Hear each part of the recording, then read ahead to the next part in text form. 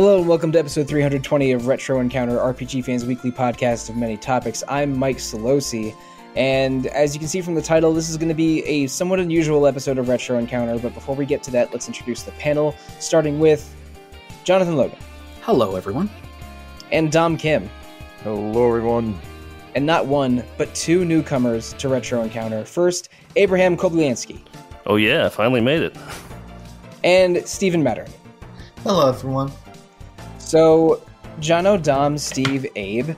Uh, this episode is not about RPGs. That is in Wait, fact what? the title.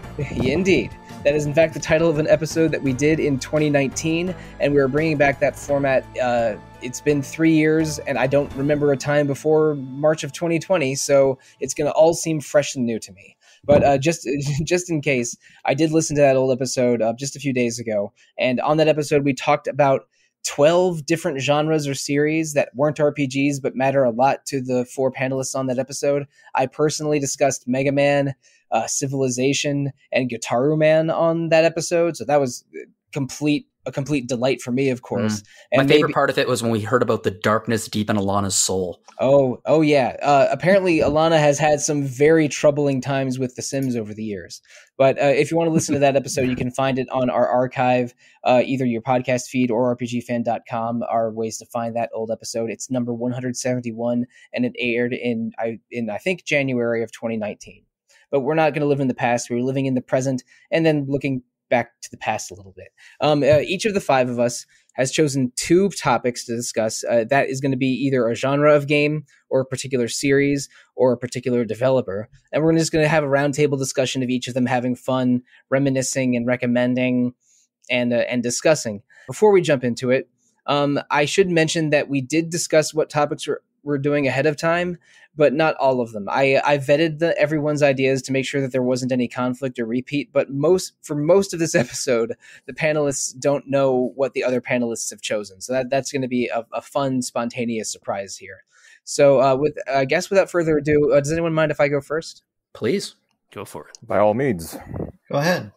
All right. Uh, fighting games. I have been playing fighters for many, many years since I was six or seven years old, and I first found a, I think it was an arcade machine of either Fatal Fury Two or Fatal Fury Three at the uh, at a at the basement of a hotel where my family was staying for a vacation. Uh, but I'm not here to talk about SNK fighters, even though I love many of those dealer, dearly. I really got into fighting games in the '90s playing Street Fighter 2 uh, with my sort of little collection of elementary school friends around the time. And my love for Street Fighter has endured over the years. Um, and not just Street Fighter, but with Capcom's suite of fighting games. I've tracked down and emulated weird ones. Uh, the, I got really deep into into Capcom beat 'em ups as a result, playing even the, the the Dungeons and Dragons ones from the late '80s and Battle Circuit from '97 or '98, which is quietly their best, the best one they've ever made, but not enough people have played it. But sticking to fighting games, um, I've played every generation of Street Fighter. I subscribe to a couple YouTube channels that show Street Fighter highlights, a- and I watch those every week. I am just a big Street Fighter fan, and I can even I can even get into weird Street Fighter story stuff that absolutely no one cares about if you let me. So uh, may- maybe Street Fighter in particular, Capcom fighters in, uh, in general, are among my favorite kinds of video games. And uh, yeah, opens up to the floor. What what kind of what's the Street Fighter or Capcom fighting experience of each of y'all? Um, well, I just have very, very casual knowledge of Street Fighter 4 and 5. I played it a bit in the dorms in high school with the shared console that we had. But yeah, I have to say my knowledge of fighting games is a bit limited in this area. Street Fighter 4 came out on console uh, right when I was finishing college, and I, I I was the president of the gaming club at the time. We I hosted a couple Street Fighter 4 tournaments, and uh, I, I I did okay in them. I, I I would enter the tournament and win a couple, and then lose to the people that were really good at Street Fighter. Uh, it basically was my Street Fighter 4 playing experience in college, but um. Uh, I but you know when we had retro nights, I could you know I could dominate at Capcom versus SNK two al- along with the best of them. My experience started uh, when I was uh, very young. There was a convenience store very close to where I lived called Westside convenience store, and some I, I, used to go there to buy candy and stuff when I was little, and somehow they got their hands on a Street Fighter arcade game, and this was back in I mean it would have been about a year after it was released uh, in arcades, and I would spend so much time there, not even playing it, but watching people play it, uh, and then of course I was very small at the time, so I was never at the front of the line, and always the bigger kids were standing there. But then I remember the incredible level of excitement when it came out for the Super Nintendo. Uh, and uh, I, I, rented it, guess where? But uh, yeah, so I mean, I really like uh, I really like Street Fighter games. Mind you, I'm not good at them. Uh, I have no real talent when it comes to fighting games, but I do enjoy them, and uh, they are very fun to watch. Especially if you see someone who is actually like extremely good at. I mean, it's a sport, I mean, yeah, I think it, I mean, I love fight uh, fighting games as a spectator sport. I'm not hugely into watching speed runs or or streamers of really any kind of video game. It, I mean, it's just that's more about my personality. I like I like I like the the playing experience of a game to be private and then talk about it on a podcast afterwards, unless I'm playing a multiplayer game. But Street Fighter or fighting games in general are just amazing as spectator sports because if you're familiar with fighters and know about the exactly how much skill goes into those combos and those strategies, then watching the best people in the world playing them is fascinating. Again, I, I watch Evo every year or, or before it shut down for very legitimate reasons. And I subscribe to a couple uh, YouTube channels that show high level Street Fighter play. The best one is Fight Club TV, which focuses on Street Fighter Five, uh, a game that has had problems over the years, but is uh, but is definitely an entertaining game to watch at least. Well, similar to you guys, I uh, I also got into uh, Street Fighter Two through the uh, the Super Nintendo. Um, got in some heated uh, fights with my friends, uh, not just on the console, of course. Uh, yeah, so I'm I remember the eight world, eight original World Warriors. um, I'm relatively new to following the series. I haven't played much of any of it. I played a little bit of four, but not a whole lot and I redeemed um, five when it came out on PlayStation Plus. But I I mostly watch five and a little bit of four here and there. Um, getting into the series, I guess the the backlog of the series, you know, before four was or before five, I should say, um, was a little intimidating to me because there are so many versions of each game to where I don't really know where to start with each of them, if that makes sense. Yes, it makes sense. Um, I mean, it like paying attention to Street Fighter story is mostly like watching arcade endings and reading the manuals a couple times.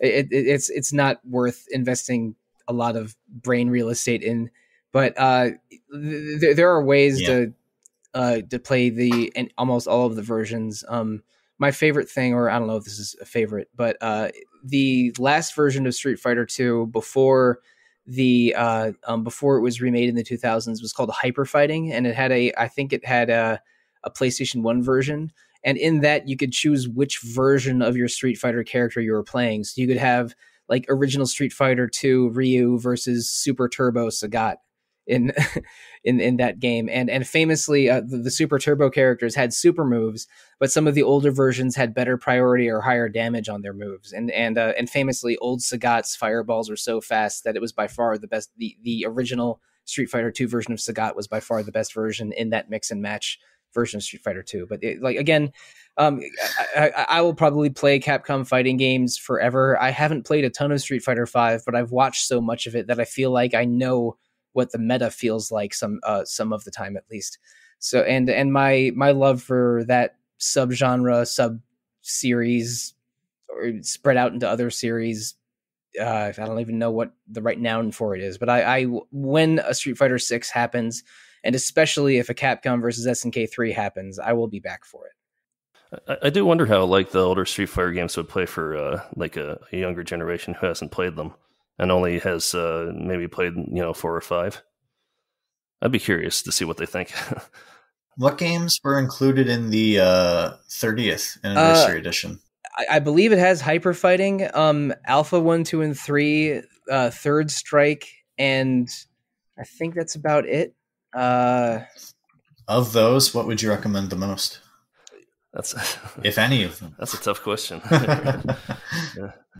Definitely not Street Fighter One. You could just sk- skip yeah. Street Fighter One straight up. Uh, Street Fighter Alpha 3 has uh, an incredibly diverse character select screen and multiple ways of uh, of manipulating super meter, and that's cool. And sort of Uh, like an but- RPG mode a little bit. Um, uh, yeah, yes. There, there is a story mode with an that lets you sort of uh, level up and give your character give your character extra skills. It's fun to mess around with, but and, but also Third Strike. I mean, Street Fighter Three Third Strike still looks amazing and plays amazing.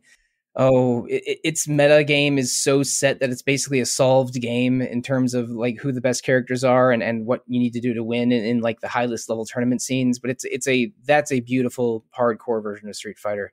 But uh, yeah, that 30th anniversary collection is a very good value if you want some Street Fighter education. But I I think we're, we've done enough Street Fighter educating already today. Uh, uh, Dom, let's, let's give uh, go ahead with your first topic. Okay, um, so it's going to be none other than probably my favorite indie game of all time, which is Hollow Knight. And um, Hollow Knight came out in February of 2017, I believe, by the made by the two man team Team Cherry, and with um, additional support in music from what's the composer's name?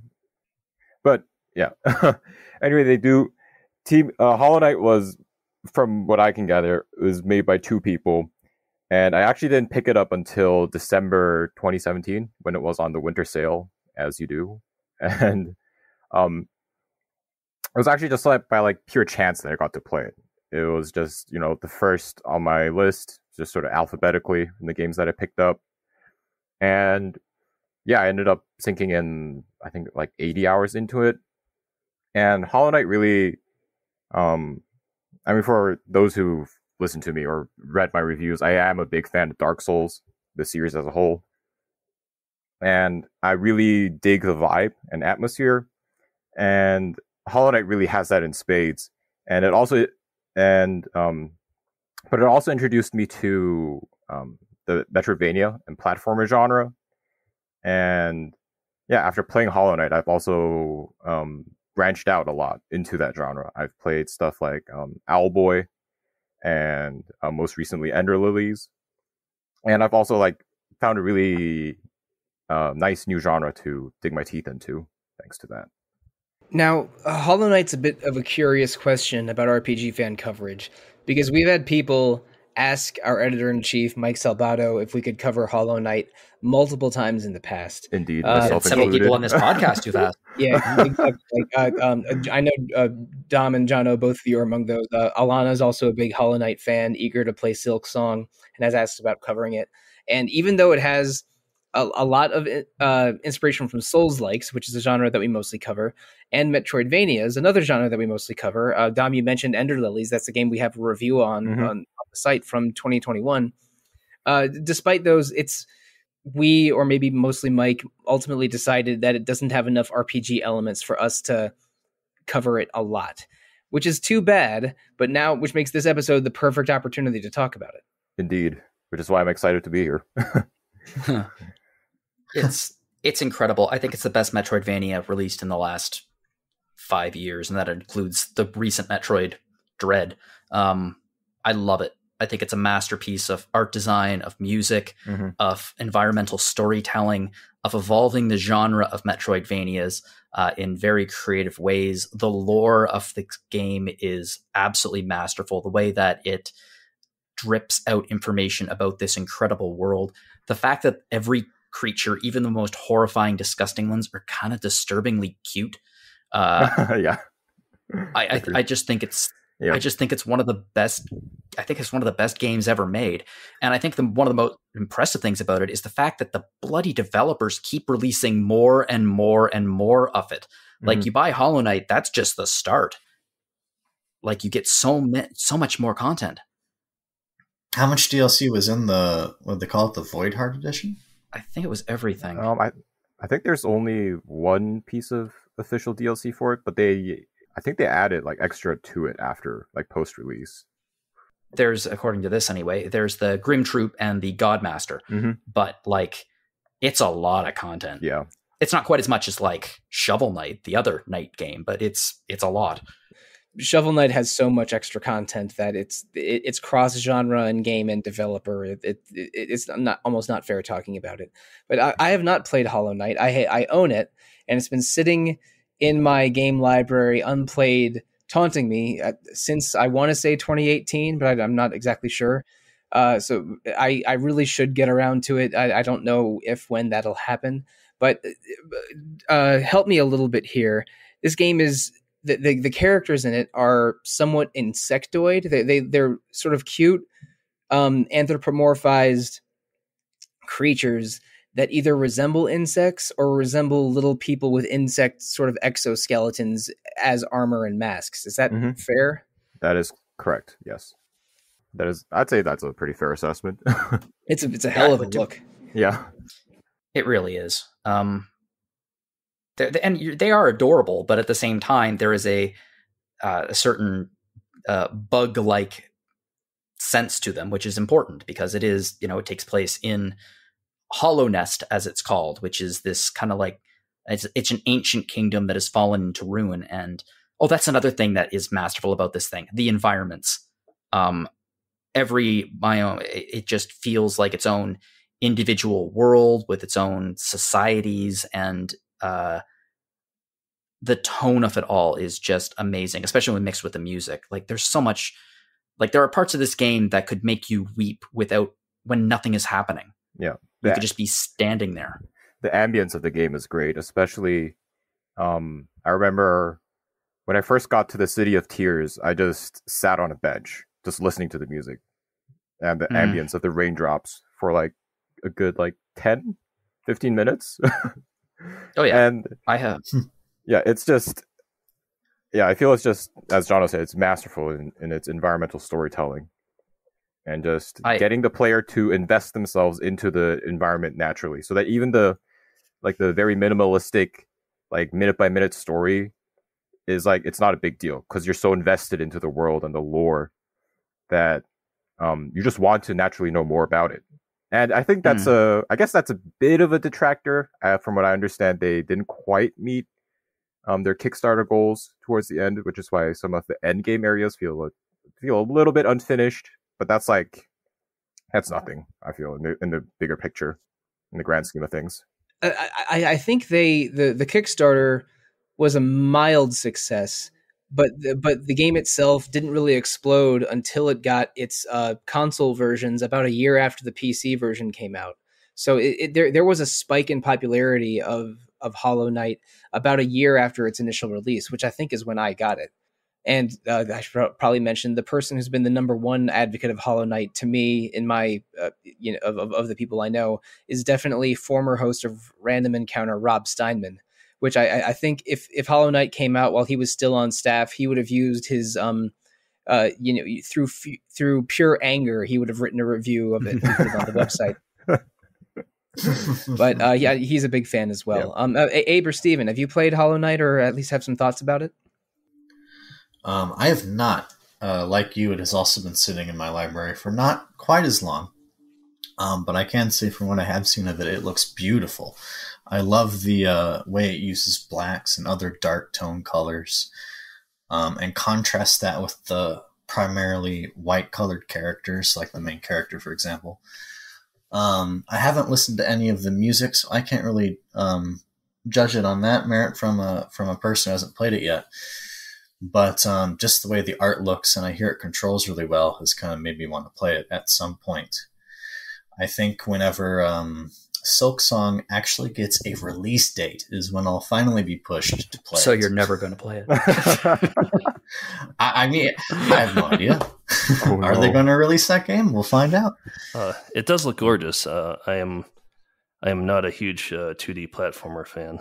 Uh, I may, may maybe making myself a target on this website, but uh, no, yeah, it's just yeah, not not really my thing.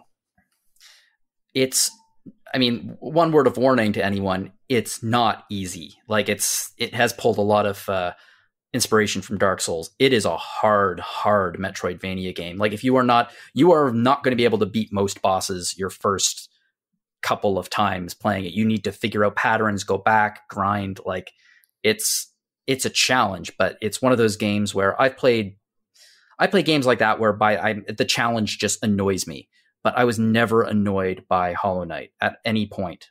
Um, I was always engaged in what was happening. Uh, it's like I mean I have and the music I have two I have two soundtracks of it on my phone. I have the actual soundtrack and I have a piano version of it.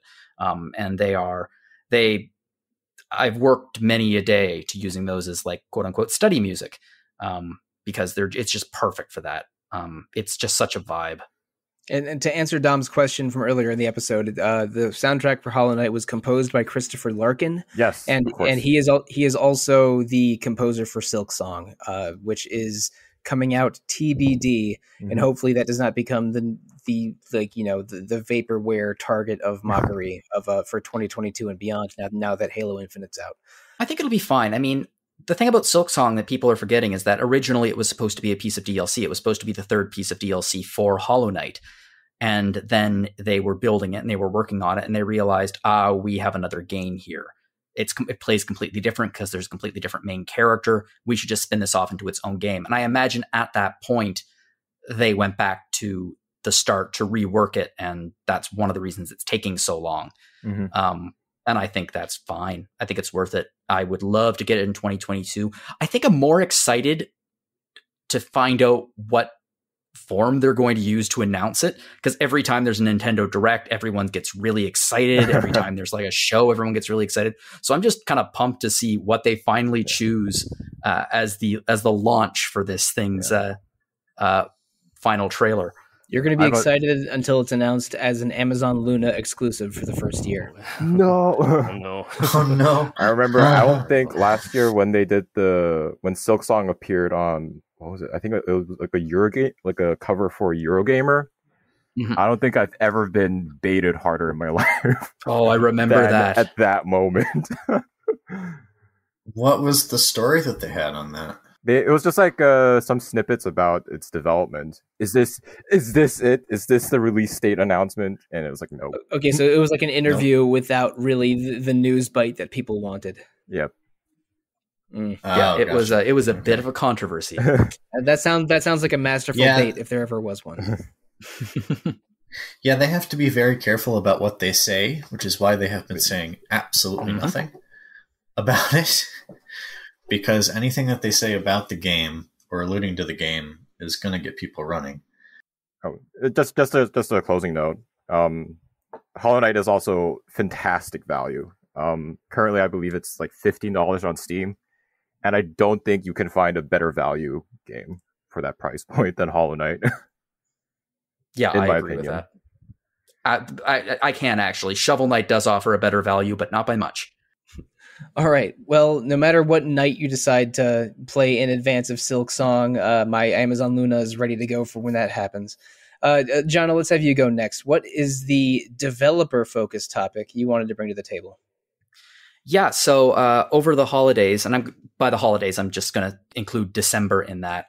Uh, I started playing Control, uh, which is a game by Remedy Entertainment that got released a few years ago. Um, about the Federal Bureau of Control, uh, which is a federal agency dedicated to basically the supernatural.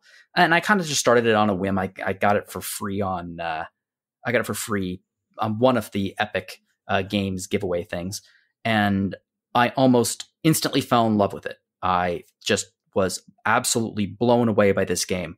Um, the atmosphere, the design, the storytelling, the actors, the actors especially uh, just drew me into this world. And then I started doing a little bit of research and realized that, well, first off, obviously, it wasn't their first game. They've done many others.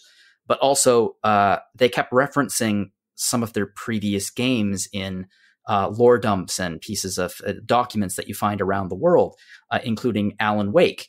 Uh, which is a, a, game that many people probably know now based on the announcement of Alan Wake 2 a few weeks ago at the Game Awards. So I said, you know what? I'm going to put Control on hold and I'm going to go back and I'm going to play Alan Wake. Uh, so I bought Alan Wake, uh, the remaster, and I played it and I loved it. And then I played its sequel, semi sequel, and liked it. And then I played their next game, Quantum Break, which is like a time travel adventure. And as a fan of time travel, I also adored it. And then I finished Control, and now I'm just itching for Alan Wake 2. So the reason why I think Remedy, I'm, I'm just focusing on their more recent games. Uh, some people might know Remedy Entertainment based on uh, the Max Payne series, which is sort of what they built their reputation on uh, in the very early 2000s, uh, Max Payne and Max Payne 2. And uh, then they released Alan Wake, God, years later. And the the gentleman behind uh, most of their games, the concept and the writing is is named Sam Lake. there, he's he's Finnish, and it's a Finnish company and he kind of seems like he wants to be David Lynch. Uh, Alan Wake is very much it's as close to Twin Peaks the video game as I think we're ever going to get. Um, it is about an author and his wife, and he has had this author has had writer's block for years. So his wife uh, books a cabin in this small little town, uh, and they go to it. And one night, she is uh, uh his wife is kidnapped, and immediately he wakes up on the side of the road in a car crash with no memory of what happened for a full week. Uh, and he must piece it together. And he discovers that in the darkness, there are human shaped, uh, I guess they're possessed by something. And the only weapons he has are like light firearms and a flashlight. And in order to kill these things, he needs to shine his flashlight on them for a period to get rid of their armor. And then he needs to take them out. Now, it's a terrible combat system. I hate it, but the story drew me in so hard that I, I kept playing it. I kept pushing past it. Um, Quantum Break uh, advanced the uh, combat quite a bit with some time travel powers. It stars, uh, oh God, who does it star? Um, uh, uh, Shawn Ashmore. I knew it was one of the Ashmores. I couldn't remember which one it was.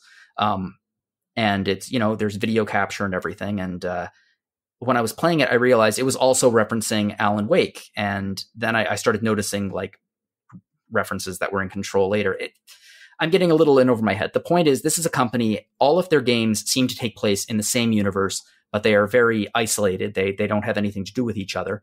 Uh, just packed full of references, and they use a lot of the same actors in all of their projects um, which gives them kind of like this repertory company sort of feel. Uh, and as a as someone who came to the theater, came from the theater, I really like that. And their actors are really, really great. Like some of the actors, uh, Courtney Hope, for example, plays uh, uh, Jesse Faden in Control, who's the main character, and she also plays a, a completely unrelated character named Beth Wilder in Quantum Break. Uh, uh, James uh, McCaffrey, who played the title character in Match, Max Payne, and he also plays the director in control. Uh, uh, I can't pronounce his. I don't think I is it Matthew per, Porretta. Yeah, Matthew Porretta uh, plays the voice of uh, Alan Wake, but he also plays a character, Doctor Casper Darling, in Control. So all of these games are, are are deeply interconnected. They're all weird. They're all strange. They all have unexplored mysteries. They all explore uh, the underbelly of what's normal, uh, which really suits my tastes. And it very much feels like if if David Lynch was a video game director, first off, that would be amazing. But second off, these are like the kind of games I feel like he would be making. Um, yeah, I just I just love them. I, I was I, I had a really really great December of gaming playing through all of their recent titles, uh, and I cannot wait for Max Payne or for Max Payne for uh, Alan Wake uh, two to come out at some point in 2023. I think. Have you gotten around to playing Controls? Um, yes, I played all of it. So yeah, the yeah, there, okay. there's the second DLC is entirely like a midquel to uh, Alan Wake, which is really really neat. Huh. Yeah. Um. I played uh, a bit of Quantum Break. I played about half, and I really enjoyed um what I did play. But I guess something else came up, and I never got around to finishing it. Um. Although I I felt like the um like something that Quantum Break and uh, Control share is the psychokinetic power mm-hmm. uh, angle that they have to the game's combat. I think it's a lot better in Control uh, from what I've seen of it. I have yet to play Control, but I have it both on Epic Games and on uh, PlayStation because it was offered on PS Plus um, January of mm-hmm. last year. So I will get around to playing it at some point, hopefully soon. Um, I don't have a whole lot of interest in Alan Wake, though. I was close to covering it on another site I write for. Um, but it didn't really pique my interest all that much due to what people said about the uh, combat in the original version. I'm not going to lie. The combat drove me so crazy that eventually I downloaded a trainer to give me unlimited flashlight power. Um, and that improved the quality of the Well. game measurably um, because it uh, all of a sudden I could focus on the story, which I adored, and it still had a challenge to it. It was not easy, but it, it eliminated one of the more annoying parts of the game, or at least mitigated it. Um, the story is so good in it. Um, I, I just love the story of it. Uh, and control, you're right. The combat in these games is not fantastic. It's good in control. It's fine. Uh, in Quantum Break, it's a long way from Alan Wake, but still, that's not the reason I would recommend playing these games. If you're looking for a really, really good uh, combat system, you're playing these games for the atmosphere, for the acting, for the character, the stories, uh, and the interconnectedness of it all. It's written in the stars. it's cosmic, as uh, yeah, David Lynch would say, maybe. uh, all, all of those games are on my backlog. The uh, ever since uh, Alan Wake, but uh, just haven't found time to sit down for those. I'm excited though. Yeah. If anyone's if anyone's curious or listening, or anyone on this podcast, uh, I would try to do what I did, which is I would download Control because it is their latest game. It's their most polished and probably has the best combat in it. And if you end up digging the world and digging that style uh, that uh, Sam Lake brings to it, then I would recommend you go back and play some of the other games. Um, like I know Alan Wake just got a remaster, and it's a pretty good remaster too. It doesn't change that much of the game, but it does polish a few things. So obviously, play that version.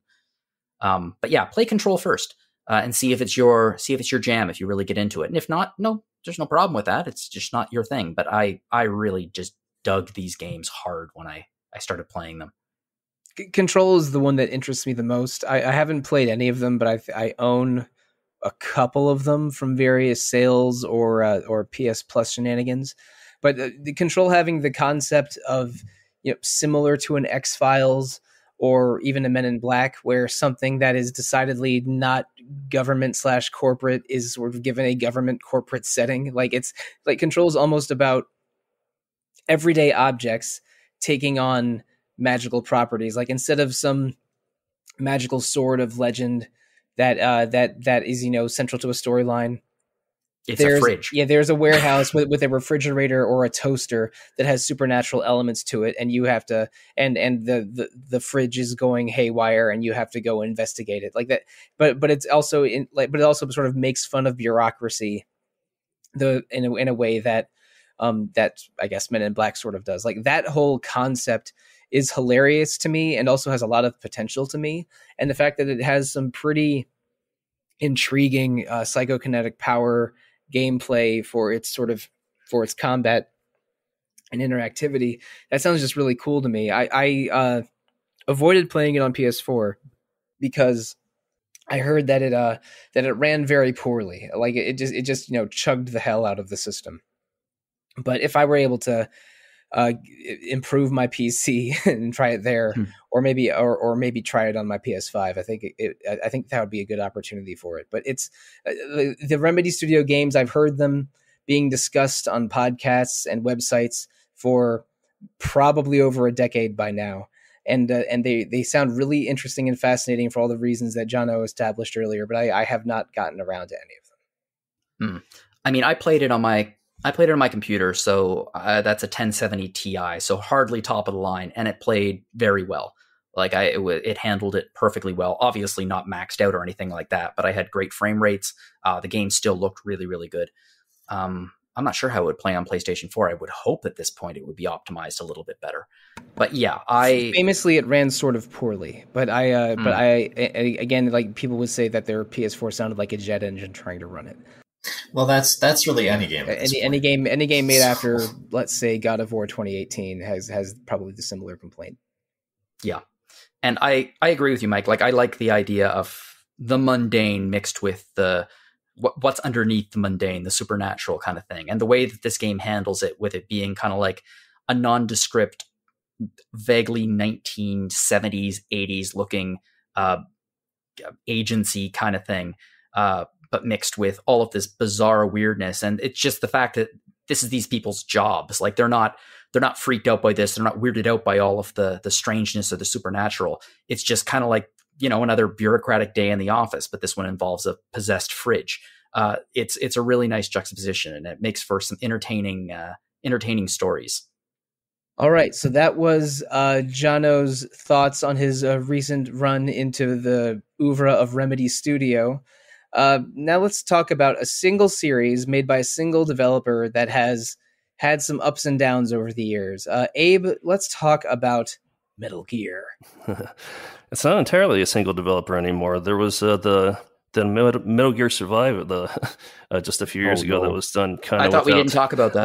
Oh, it, it, it, Metal Gear, Sur- Metal Gear Survive is the Philips CDI Zelda game of, of Metal Gear Solid. It's uh, it's Metal Gear Solid with zombies. Uh, uh, so yeah, Metal Gear Solid. Uh, as the box says, it's a it's a, a tactical espionage action. So sipping that tea there. Um, so uh, when it, this game came out in 1998, and I was uh, I was about 14 years old, um, and the uh, you know it, this game blew my mind because of the uh, the the uh, the cinematic presentation of, of this game. I I feel like this was possibly like the beginning of of cinematic games, uh, and I'm talking about you know cinematic is done like in engine versus you know full motion video, which which was uh, in danger of becoming the thing back in the back in the nineties. Um, I, I kind of imagine a parallel universe where FMV became the thing, and it's kind of kind of sounds sad and and cold. um, so, Metal Gear Solid is a uh, it's a stealth game. Uh, there's I know there's there's a few other uh, stealth uh, series now that that kind of sprung from it. Um, you know, there's Assassin's Creed and uh, some of what some of those games we cover. And uh, I, I, think I think Ten I think Tenchu came out around the same time as oh, Metal Tenchu, Gear Solid, yeah. but yeah. Uh, but Metal Gear I mean I mean Metal Gear Solid had Metal Gear almost a decade earlier, so it's it's not like it. I don't think either of them was was mimicking the other. But uh, but but yeah, Metal Gear Solid has sort of been the standard stealth action game for a long time. Yeah, and I, I definitely think that uh, you know, like Hitman and, and Assassin's Creed are very different, uh, very different series in terms of stealth. But uh, Metal Gear Solid is is a little bit of a, an original. uh, but uh, yeah, so this is a stealth game, which is uh, you know, it's it's pretty much an uh, action adventure game, except that uh, you're absolutely beholden to uh, you know needing to stealth your way through levels instead of uh, fighting your way through them. Um, the, some of the later games in the series allowed you to give you a little bit more of an open option as to whether you wanted to fight your way through or or or uh, you know just run run your way through sometimes. Um, but yeah, Metal Gear Solid, and if you um, so you, you can't you pretty much can't advance if if uh, you have the uh, if the enemies know that you're there. You can't advance to the next uh, story beat. Um, so, uh, yeah, it's a little bit different from the typical action uh, action game. And uh, I know we have a, a couple uh, big Yakuza fans here. Uh, well, and one of the uh, the uh, the main features of, of the Yakuza games is the uh, the gritty, melodramatic uh, tone mixed with uh, the goofy, off the wall uh, sub stories. Um, I think the Yakuza series owes a little bit to Metal Gear Solid uh, for that as well. Uh, the uh, I think Yakuza probably does a better job of compartmentalizing those two different, those two divergent tones. Uh, Hideo Kojima. Trying to imagine Snake the, going to a uh, hostess club. Yeah, uh, Hideo Kojima, the uh, the creator of the the Metal Gear games, uh, like to mix those tones a little bit more, and it, it got a little, it gets a little strange sometimes. Uh, the the man is a fan of his urine jokes. Unlike Yakuza, sure, which which never gets strange ever. So uh, uh, I'm pretty sure there's a character no, that wets themselves in every single Metal Gear Solid game. So yeah, I don't think urine plays a part in any in any Yakuza game ever. Not in any side quests, right, Mike? nope, never heard of it. uh, and the probably the, the, the most quirkiness is seen in, in the bosses in, in Metal Gear Solid. For for one thing, in, in the first game, every every boss is named like a thing and then an animal. So you got like so you got Vulcan Raven, you got Revolver Ocelot, uh, Sniper Wolf, and uh, Psycho Mantis. Okay, qu- quick aside. Quick aside, listener, you're probably thinking of Mega Man X right now, and that's totally fair. But I think both Mega Man X and Com- and uh, Metal Gear Solid get that from Kamen Rider, which because that was a, Mhm. which is a, a superhero show from the 70s. Uh, Because a lot of monsters in Kamen Rider were set up like that, and Kojima has even like tweeted commentary tracks for old Kamen Rider episodes. So I'm I'm, I'm pretty I'm pretty sure that's the inspiration there. Sorry, sorry, Abe. Please continue. Uh, but there were, you know, there were a couple things, especially about like the the Psycho Mantis battle that um that that really stuck in my mind. Uh, this series has like probably all of my favorite boss fights in video games.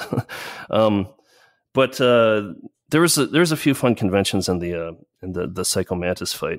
Uh, as you can kind of guess from the from his name, um, he is a a psychic. He does the ESP and mind reading and and uh, you know telekinesis and all that. Uh, so because he can read your mind, you have to uh, you can't defeat him in conventional ways. You you can't you know if you if you aim your gun at him, you can't hit him. Uh, so you had to switch your controller to the second port, and then he can't read your mind. Which I thought was the creative use of the uh, the PS One. Kojima just loves finding new ways to mess with players. Yeah. Uh, in with every with every game he makes. Um, and also in Metal Gear Solid One, like I hope you got that game in the original box because at one point in the game when you need to call someone, Oh yeah. the uh, there's no way to find their calls their call number on your radio unless you look at the back of the box and see her name with her call number on one of the images at the back of the box. N- Nowadays, if you if you don't have that box, I mean, the internet's got your back, but still, that that was just unthinkably weird for the time. And my my favorite part of the Psycho Mantis boss fight is uh, if you have Konami games on your memory card that's in the first uh, controller port, he'll comment on it. Like uh, I, I think the, the most famous one is he'll say, "You like Castlevania, don't you?" um, yeah. uh, and uh, and I, I should mention here, I actively dislike stealth games in general. Whenever there's a stealth mission in a game that's mostly not about stealth, is my least favorite part of the game. That's true Uh, I from mean, every, yeah. yeah, that's true from from Yeah. uh, from your from your Zeldas to your Infamouses to to what have you. So I have uh, I have played through most of Metal Gear Solid One. I uh, I don't remember why I stopped playing it. I, I I ended up watching videos of the of parts of the game I didn't play, and I've played a tiny bit of Metal Gear Solid 2, but otherwise I've decided I don't want to play any Hideo Kojima games because the guy's just I feel like his head is way too far up his own ass uh, and and and and getting as far as I did in Metal Gear Solid was a struggle because I really have a problem dealing with stealth games. I, th- I th- there's a stealth segment in uh, uh, Final Fantasy VII Crisis Core that's not even that hard. It's it's probably ten or fifteen minutes, but I just got so frustrated at it. I I just sort of stopped and started a, a YouTube walkthrough of that stealth segment just to get through it. So be, because of stealth reasons, and not really because of writing reasons, even though again I, I don't always love Metal Gear Solid writing. Well, those Um, games are so I- I- convoluted. Yeah, I, I haven't. Yeah, I, I, oh, I, oh, I don't have. I don't have problems with convoluted stories. So just just go back to our brief discussion on Yakuza a minute ago. But uh, I, I just haven't really gotten into Metal Gear Solid, despite playing more than half of the fir- of the first PlayStation one, be- because of stupid, stubborn reasons. But and and also I don't like stealth. But I I I know. I feel like I know most of the story of the entire series, even going down to like your Metal Gear acids and revengeances, just because I've heard them talked about so much. Uh, so I, I have an appreciation from afar of the series, but I cannot I cannot call myself a Metal Gear Solid player or fan. See, I I love stealth. I love stealth. Stealth is fun for me. Um, and I really like the first title of the game of the series. I, I never bought it though. I only I rented it for like I think two or three weekends in a row. I don't think I've ever beaten the game, but I enjoyed it a great deal. But then I never got a PlayStation 2, especially when the PlayStation 2 came out, and not a PlayStation 3 either. So I sort of missed where the series evolved to, and I've just never gotten back on there. But I've heard some excellent things about, well, stealth, for example, uh, and using balloons to capture your enemies and send them to to uh, non-lethally get rid of them, uh, and that appeals to me. Yeah, and that appeals to me. So this is a series that I feel like I could possibly get get into, uh, but there is a like you were talking about a second ago. There's a lot of story in the way of getting uh, making my way through it. So I don't know this. I don't know if this is a game I will ever fully get into or not. But I do appreciate where it came from originally. And I mean, the Nintendo Metal Gear, you know, for the NES is is a pretty amazing game for that system, especially for the time. Well, there is a lot of story, but um, the one thing about you know, I was thinking about this, and, and the one thing about these games, I think you know, if you play the first one, you don't necessarily have to play the rest of them in order. Um, I think you pretty much get at least you know, I mean, since it is a very convoluted story, you, you kind of need a little bit of a basis for you know for a feel as to what's going on and why things are significant in the other games. But I think you could, you know, the, in terms of like the timeline, they they jump around all over the place from the 70s to the 2010s. So I think you probably could, you know, if you play the first game, probably just jump to whichever other one, and and probably get a good idea of what's going on. Again, I know a lot of story about these games without having played all of them. I, I know that uh, Metal Gear Solid 3 takes place in the 70s, and Metal Gear Solid 1, 2, and 3 have different main characters for each of them. Yeah, and they're and uh, uh, avoiding some spoilers here eh, with uh, with you know sort of different uh, hitting different parts of the Metal Gear universe in each of their uh, stories. Um, but but again, Metal Gear Solid Four is sort of a like a a Snake's final chapter kind of game. Metal Gear Solid Five adds a bunch of open world elements and hits a different er- a different era in the Metal Gear Solid timeline that hadn't really been uh, uh, approached yet. I, I- d- d- isn't Metal Gear Solid Three like a prequel to Metal Gear for the NES? yeah, basically. yeah it, it, so like it, there's there's a lot of interconnected story stuff in these games and a lot of references but in a way that you don't have to play all of them in order but it's more rewarding if you the, the more you play them. But may, maybe don't make metal gear solid 4 your first one it's sort of, it's sort of my it's sort of the vibe i get. Yeah, and the second one is a little bit skippable in terms of the story. ah yeah snake's revenge that that uh un- unassailable classic. Um, if they, if Konami adds, I don't think they did, but if they add, um, I think it was, didn't didn't one, two, and three have a collection? Yeah. It's delisted okay on the all right Xbox look if you're interested right? in Sadly. konami adding something s- Yeah. stop hoping It's not. yeah. If they add it back, or if I can find my PlayStation Three, I will go and play the Metal Gear Solid Yeah. series. Yeah. uh, you know, sadly, I was looking at it, and I think the only way to play uh, Metal Gear Solid 1 on any platform is through GOG. Which, and if you don't want to give Oh, CD yeah? Projekt Red Weird. money, then uh, you're you're out of luck, I guess. sadly. Yeah, tracking down that series is going to be my worst enemy because it's a series that I've always wanted to try.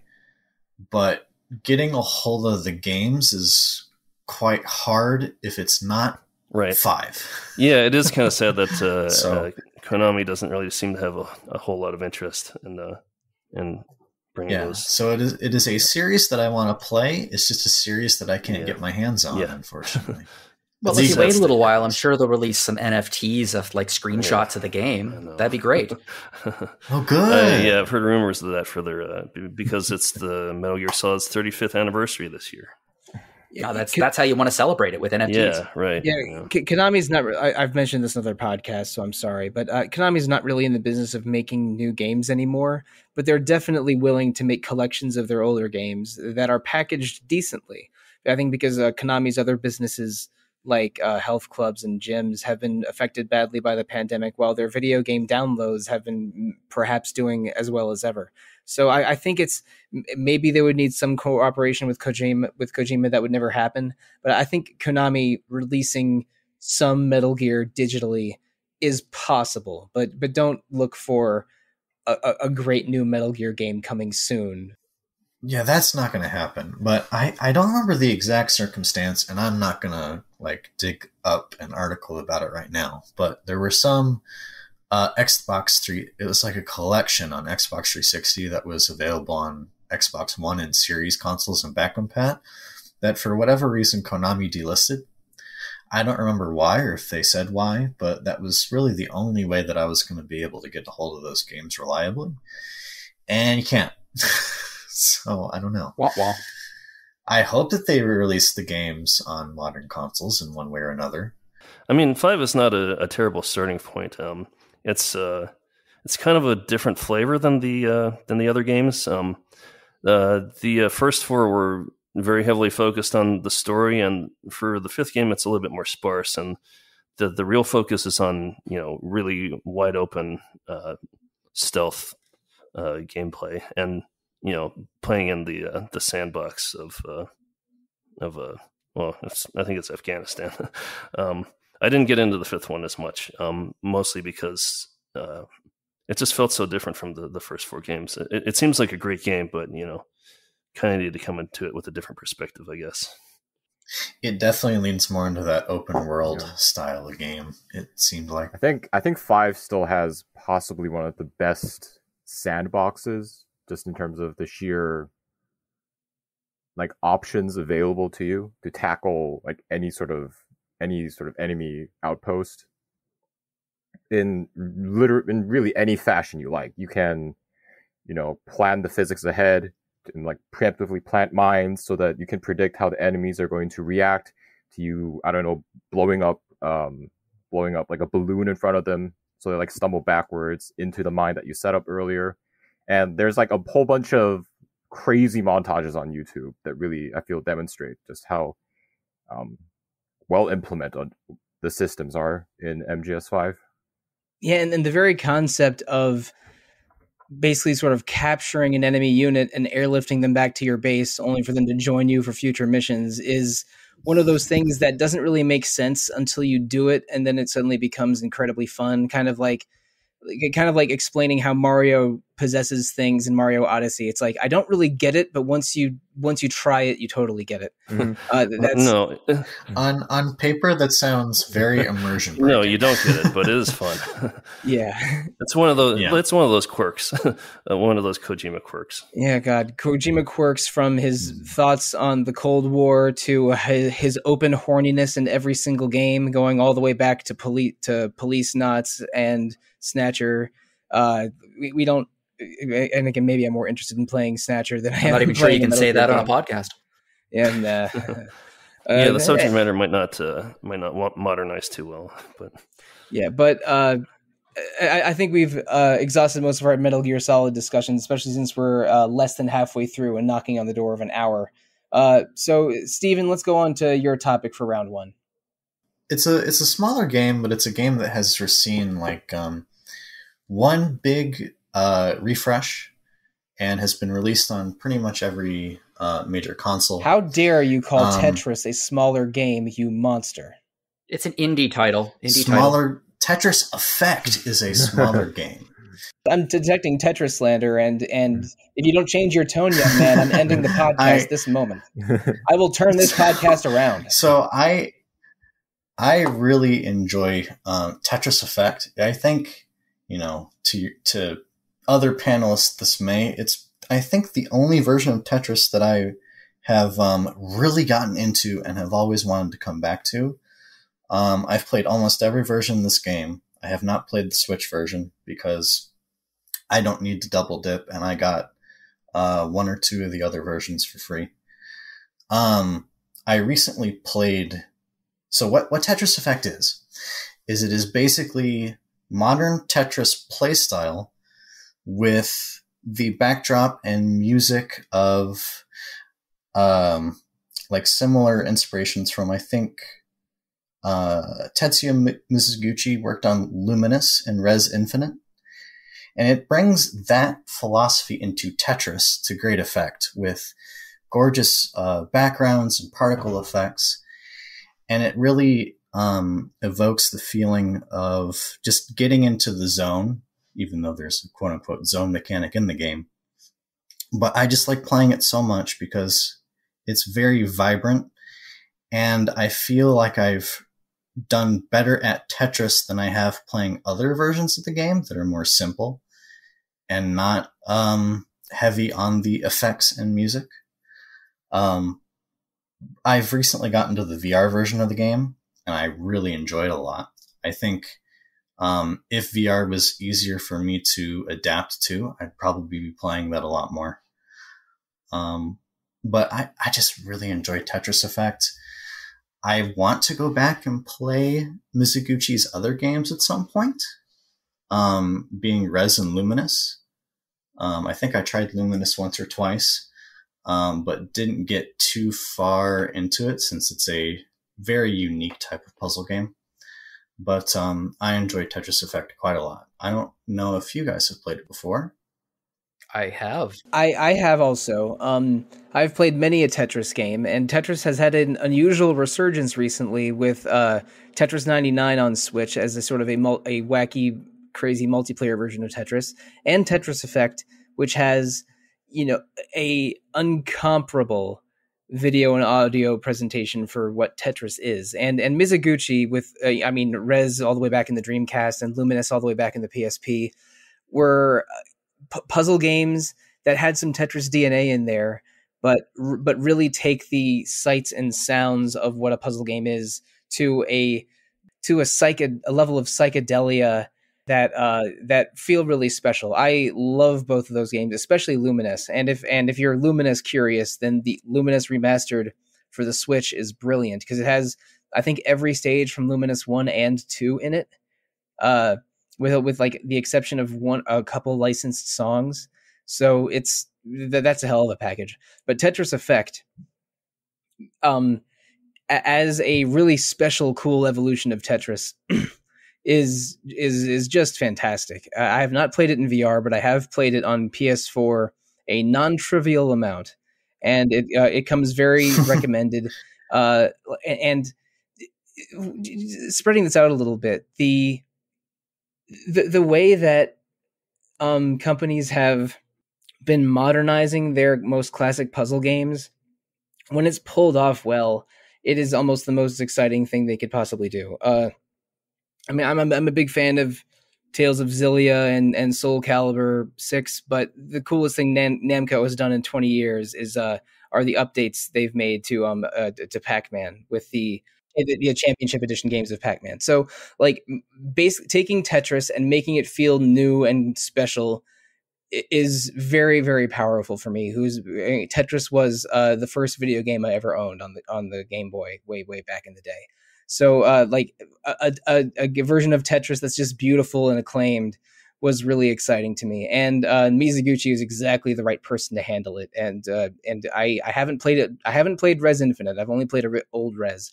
But uh, Lumines Remastered is a is a really really good title to pick up. Um, I don't. I honestly haven't researched um, the rights uh, for this game because I'm actually surprised that um, Tetris a Tetris Effect game came out outside of Sega and Electronic Arts because from what I remember, those two companies um, share the licensing. So I'm very happy that we got a very uh, unique version of um, modern Tetris outside of those two companies. Who owns Tetris is a, a very weird question. Uh, and uh, like it, it was it was developed in the Soviet Union in the in in the middle 80s and a lot of different companies have had uh, have had different versions of Tetris over the years. My favorite version of Tetris before Tetris Effect is actually Tetris DS, which I think was so good. Yeah, which I think was built in studio by Nintendo. So I, I don't think Sega or EA necessarily owns the uh, owns the rights to it. And, and again, Nintendo owned Tetris for a while, but uh, but it, I, I think it's owned by like EA for mobile versions and a, a, a, special original Tetris company for non-mobile versions, and they license it out to all kinds of people. I, I, I think is how it happens, but I, I could be wrong about that because again, who owns Tetris and who's allowed to make Tetris games like has changed with every decade. I'm just glad that Tetris Effect got made because it owns. Me too. Because well, I I just said that off the top of my head because I know that EA makes uh, mobile versions of Tetris games, like you said, and then uh, Sega made the Puyo Puyo Tetris uh, games. So those are what popped into my head most uh, for games that have you know came out recently, other than Tetris Effect. that used uh, the Tetris IP? Uh, I, I, I mean, there's a few documentaries about this on YouTube of just how Tetris, you know, who owns it and that kind of thing. Uh, according to Wiki, the Tetris company owns uh, the exclusive right. Okay, so it's uh, the exclusive licensee of Tetris Holdings LLC that owns the Tetris rights worldwide, but it does license the Tetris brand now to third parties. So, uh, yeah, we all own Tetris. Have, yeah. have the rest of you played Tetris Effect I, before? I own it for uh, Switch. It might be one of my favorite versions of Tetris. Uh, like Mike, when you said Tetris DS, like I I had it for Game Boy as well, um, and I played the hell out of that. I actually broke my first DS because I was playing too much Tetris, and I broke the right uh, shoulder button. Um, it just it just it just wore off. It just broke. Uh, so I had to buy another DS, and uh, oh. That that version of the game is amazing, uh, especially if you love Nintendo history. Don't worry, I played so much Monster Hunter on PSP. I am on my third broken PSP now. So yep. I, I, I, I understand. Me. I understand a thing or two about wearing out handhelds. yep. But um, te- you mentioned playing Tetris Effect on Switch. I really wish I had an OLED because if I did, then I would buy the. I don't have an OLED. I just have my my big screen TV. God, I, I, I have my jaw droppingly uh, good. I have Tetris Effect on PS5. It's the PS4 version of it on PS5. But yeah, yeah. I had no idea that what I wanted was to play Tetris while someone flashed a strobe light in my eyes. no, no but mm. playing it on a high handheld on a high quality screen like the OLED Switch seems ideal. Uh, for me, Tetris is the closest I come to meditation. I don't like meditating. I've done it before. I did it in theater school. I hate it. Um, I do a lot of yoga, but that's for fitness, not for clearing my head. But when I play Tetris, uh, it's it's really like it's like a it clears my head instantly. I just I can shut off all other thought processes and just and just play. Um, so when I downloaded Tetris Effect Connected, uh, I didn't know what to expect, and I found that it was a tremendously meditative experience. The music is gorgeous. Uh, the backgrounds, the art of it all is stunning. There are some levels that drive me absolutely crazy. Any level that doesn't actually use uh, solid squares for the blocks really screws with my head for some reason. Like the Da Vinci level with the like where the the pieces are like little windmills, even though they are still in the same uh, arrangements, for some reason my eyes see that and it it just short circuits my brain, and I have so much trouble figuring out patterns.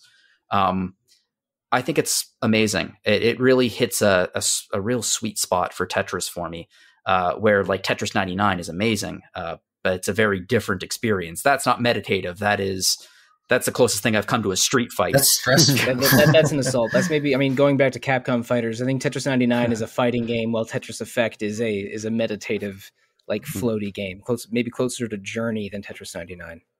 Yeah, I don't think I've ever become. I'm I'm never as feral as I am when I'm down to the last two people playing Tetris 99. Um, that's that's when I just I get very very focused and like I could kill a man right now, but Tetris blocks. you know, rolling it back a little bit before the Tetris company formed, uh, Tetris was owned by Nintendo for a while, and uh, don't be fooled. Tetris Attack is not a Tetris game. Tetris Attack for the Super Nintendo is a Nintendo version of Puyo Puyo, which didn't which didn't have an officially named Puyo Puyo game worldwide for many years later. Uh, Pokemon Puzzle League is also a Puyo Puyo game, but Tetris Attack is the Super Mario Yoshi's Island version of Puyo Puyo for the Super Nintendo. Not a Tetris game. Let's separate that away from Tetris Effect. Uh, please continue.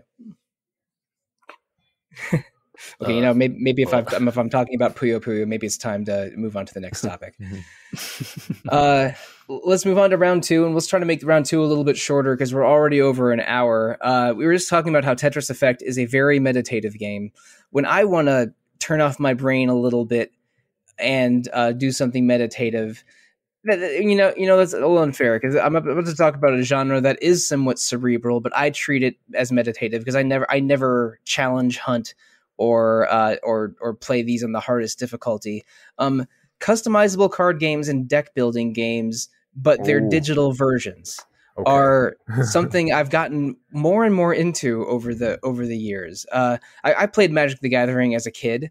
uh, and and you know I, I, stopped playing around when the around when the Rath cycle ended. For anyone that is up to date on the Magic the Gathering stuff, which I am not, and I and I have done things like uh like like like draft tournaments at uh, at conventions before, and, and had some fun with Magic. But I, I, I have got had the most fun with card games I've ever had recently because things that I my least favorite things about card games like cleanup and scoring and counting very complicated rounds are already are automatically taken care of in these games digital versions. So I have digital versions of uh, let's say three or four Magic Duels of the Planeswalker games and Slay the Spire and Monster Train and Ascension and at least two branded deck builder games uh, for, for, either mobile mobile or PC.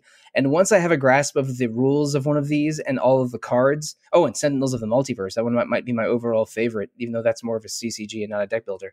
Uh, basically, taking everything that I love about these old deck builders, doing the scoring automatically for me, and having me not buy goddamn booster packs and waste all of my allowance on them every week, and oh, instead either having it as an all in one package or an all in one package and then a couple DLCs to add a bunch of more cards. That pricing structure, as well as them being on sale on Steam all the time, has made it has has made me like when I want to just play a, a, video game and not think about story and not focus on on intense action, I will just play a round of Monster Train or Sentinels that'll take me between 15 and 30 minutes and just have a great time. And, and because I already know the cards, I've played them long enough, I can I can just figure out or or a you know or a run of Slay the Spire.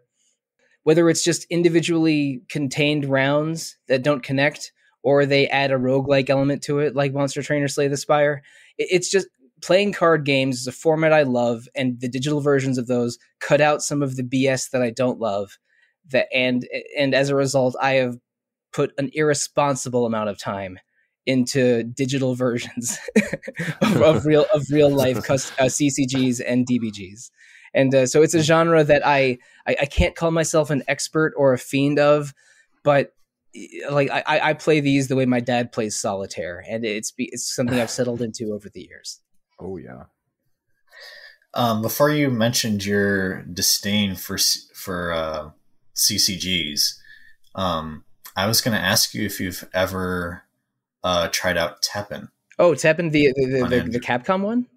Yeah, I yeah. I uh, I played the I played a little bit of uh, of Teppen when it launched, but then it just has too many elements of gacha that I don't want.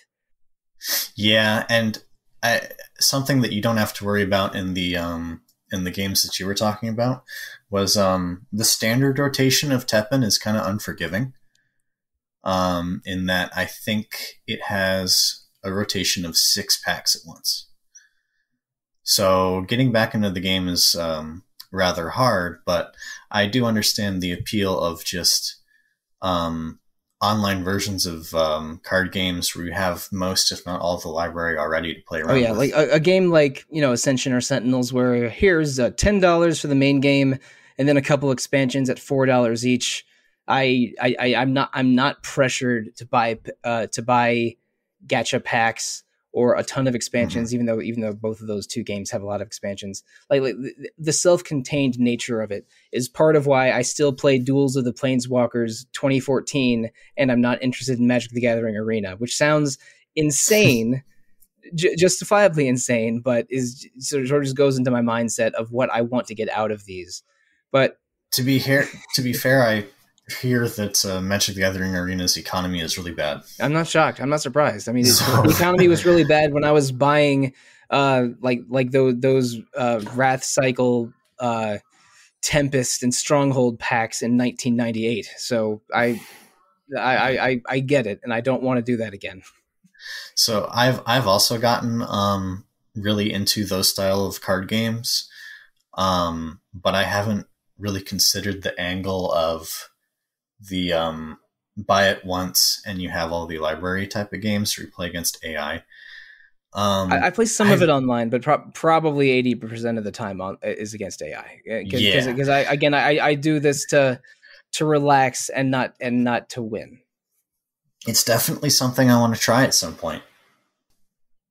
Yeah, it does sound very interesting because um, I play way too much of like trade of um, CCGs online, such as um, on Steam. I play Shadowverse a lot, which is yeah, it's it's basically like anime Hearthstone in many ways. Yeah, I, I remember when that was being advertised quite a bit. Yeah, And and, and And- Hearthstone again is it, it's it's I, I did try Hearthstone, but I bounced off it pretty fast because again, it's not what I'm looking to get out of Yeah. the CCG.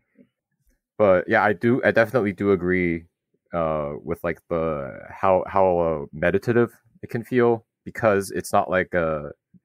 I mean, yeah, for me, the like the more mechanically challenging a game is, the more I have to be like very actively playing the game and very involved. And in many ways, it is tiring even after just like an hour or two. But with like um, with CCGs, for me at least, um, it is very relaxing you just oh you know you just uh, like for me I, it just plays in the background almost oh well, it's my turn um well yeah i guess i'll play this card now and then it's just okay i'll just wait for the opponent to do their thing and then i can go back to doing my thing in the meantime so it is um yeah a very relaxing experience for me as well i have to say. Exactly right. Yeah, e- either to relax or or to do while you're watching something or listening to a podcast. I think it's, it's that's the ideal format. I remember a uh, actually a Magic the Gathering game from the 1997. It looked like um, from Microprose, where it was actually like an RPG where you you build up a deck and then you had to wander around this uh, whatever the world was called. What's I, I think I think what's I, the world I Magic played, the Gathering called?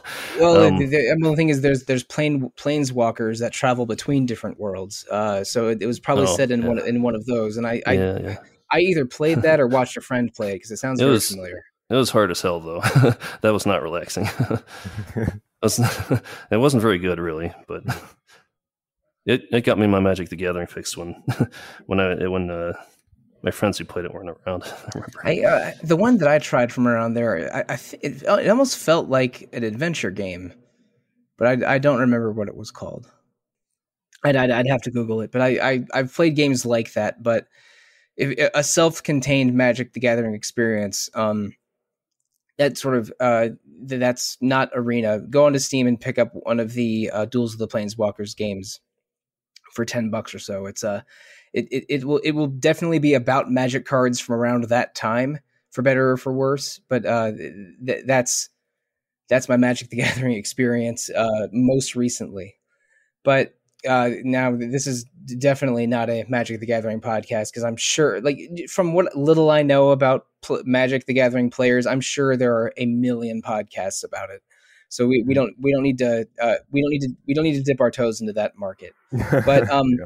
but one game that's a an action game, a first person game with a lot of RPG elements. That if we, uh, Jono, if we argued hard enough, hard enough, we could probably talk uh, Mike and Salvato into covering this. Is Bioshock and Dom? I would love for Hmm. you to tell us all about Bioshock. Of course. Um, so Bioshock One came out 2006, I want to say, around that Yeah, I, I time. th- I think it was I think it was 07, but Yeah. around that time, yeah, it was like like like early uh, 360 PS3. yeah, and um, it was just mind blowing, of course, at the time. The whole are we are we allowed to spoil the game here? I mean, if we say Uh, spoilers, Um, and it's don't also go, don't go uh, don't go into the very end. We can talk about big uh, daddies and little sisters, but Mhm. please, but uh, would you kindly not spoil the end game? Okay. Um, well, it has by far probably one of the most, um, I think like one of the most incredible twists in the narrative. Not only once, but I think twice, um, as you play through the game. And um, yeah, Rapture, Bioshock was just, I feel just a step up in terms of world building and environmental storytelling, and just gameplay system as well. The whole um, fooling toying around with plasmids. And one thing I also really appreciated, um, especially in the after replaying the first ones more recently, after playing uh, Bioshock One and Two, is how um, everything in the game ties back to the background or to, to the backstory, and there's no I there's really no like superfluous element in the story, and everything has a purpose. And um, I feel like one of the shortcomings of Bioshock One was um, I feel it didn't have quite as good of a like a personal story. It had a very good like big overarching plot throughout the story, but I didn't really feel much for the main character or anything like that. And I feel Bioshock 2 is a game that really remedies this in a lot of ways. Um, Bioshock 2 does get a lot of flack, I feel, quite unfairly so, because it is, oh, oh, it's just a retread of Rapture. Oh, it's not really that exciting. But Bioshock 2, you get to play as Big Daddies, as as the first Big Daddy, who are like, uh, who are, uh, in Bioshock 1, there were boss enemies you encountered. And for, uh, just as a, it's, it's a, I feel, I feel like it was a fresh enough take for a sequel and Bioshock Two really improves upon I feel the personal story that could that could be told within Rapture. And personally, I do enjoy Bioshock Two more than one, which might be a oh, bit oh, of a might be a bit of a hot take. But I feel yeah, so Bioshock hot. Two dropping that Oof, too hot.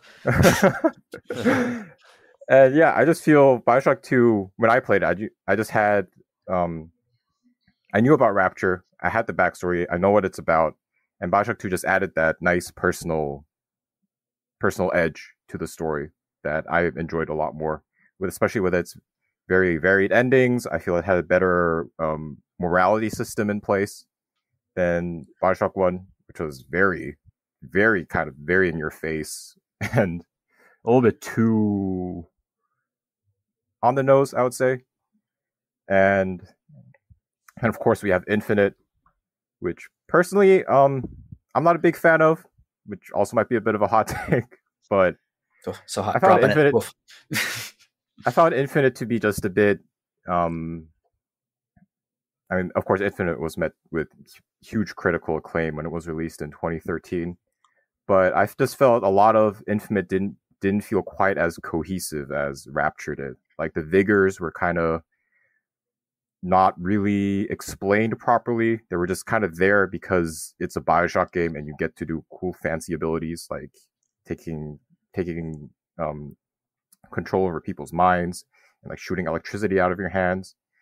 And they implemented like a weapon system limit, like you can only carry two weapons at a time, but they have a whole bunch of weapons that they kind of want you to experiment with, but it I felt like there were a lot of conflicting design decisions in Bioshock, both in terms of gameplay and story, or in Bioshock Infinite in terms of gameplay and story that I didn't quite vibe with. So it's still a good game. I'd still play it, but it's not my favorite of the series. Definitely. Okay, okay. I I have a lot of thoughts here. I'm, I'm gonna try to I'm, I'm, gonna try to avoid over soliloquizing about this. but um, Bioshock is not my kind of game. I don't play very many first person shooting games at all. But the, the grand exceptions to those rules are uh, Far Cry 3, which I adore, the Mass Effect series, which I adore, and Bioshock 1, which was basically universally acclaimed when it came out. And I played it a year or two later, and in, uh, let, us say 09 or 2010, because that, that's I, I didn't get a PS3 until 09, and that's definitely where I played it. And I loved it. It is this game that is that is very very bleak, but is definitely about um about uh, giving players a lot of gameplay decision power. Like depending on your combination of plasmids and how much you've explored and what you've done so far in the game, there are in, a ton of ways to approach any enemy or any boss fight. And because you're in this underwater bunker that was built as an Ayn Rand utopia that and then completely failed and fell into disrepair and uh, and cannibalism and and all kinds of uh, of nasty nonsense.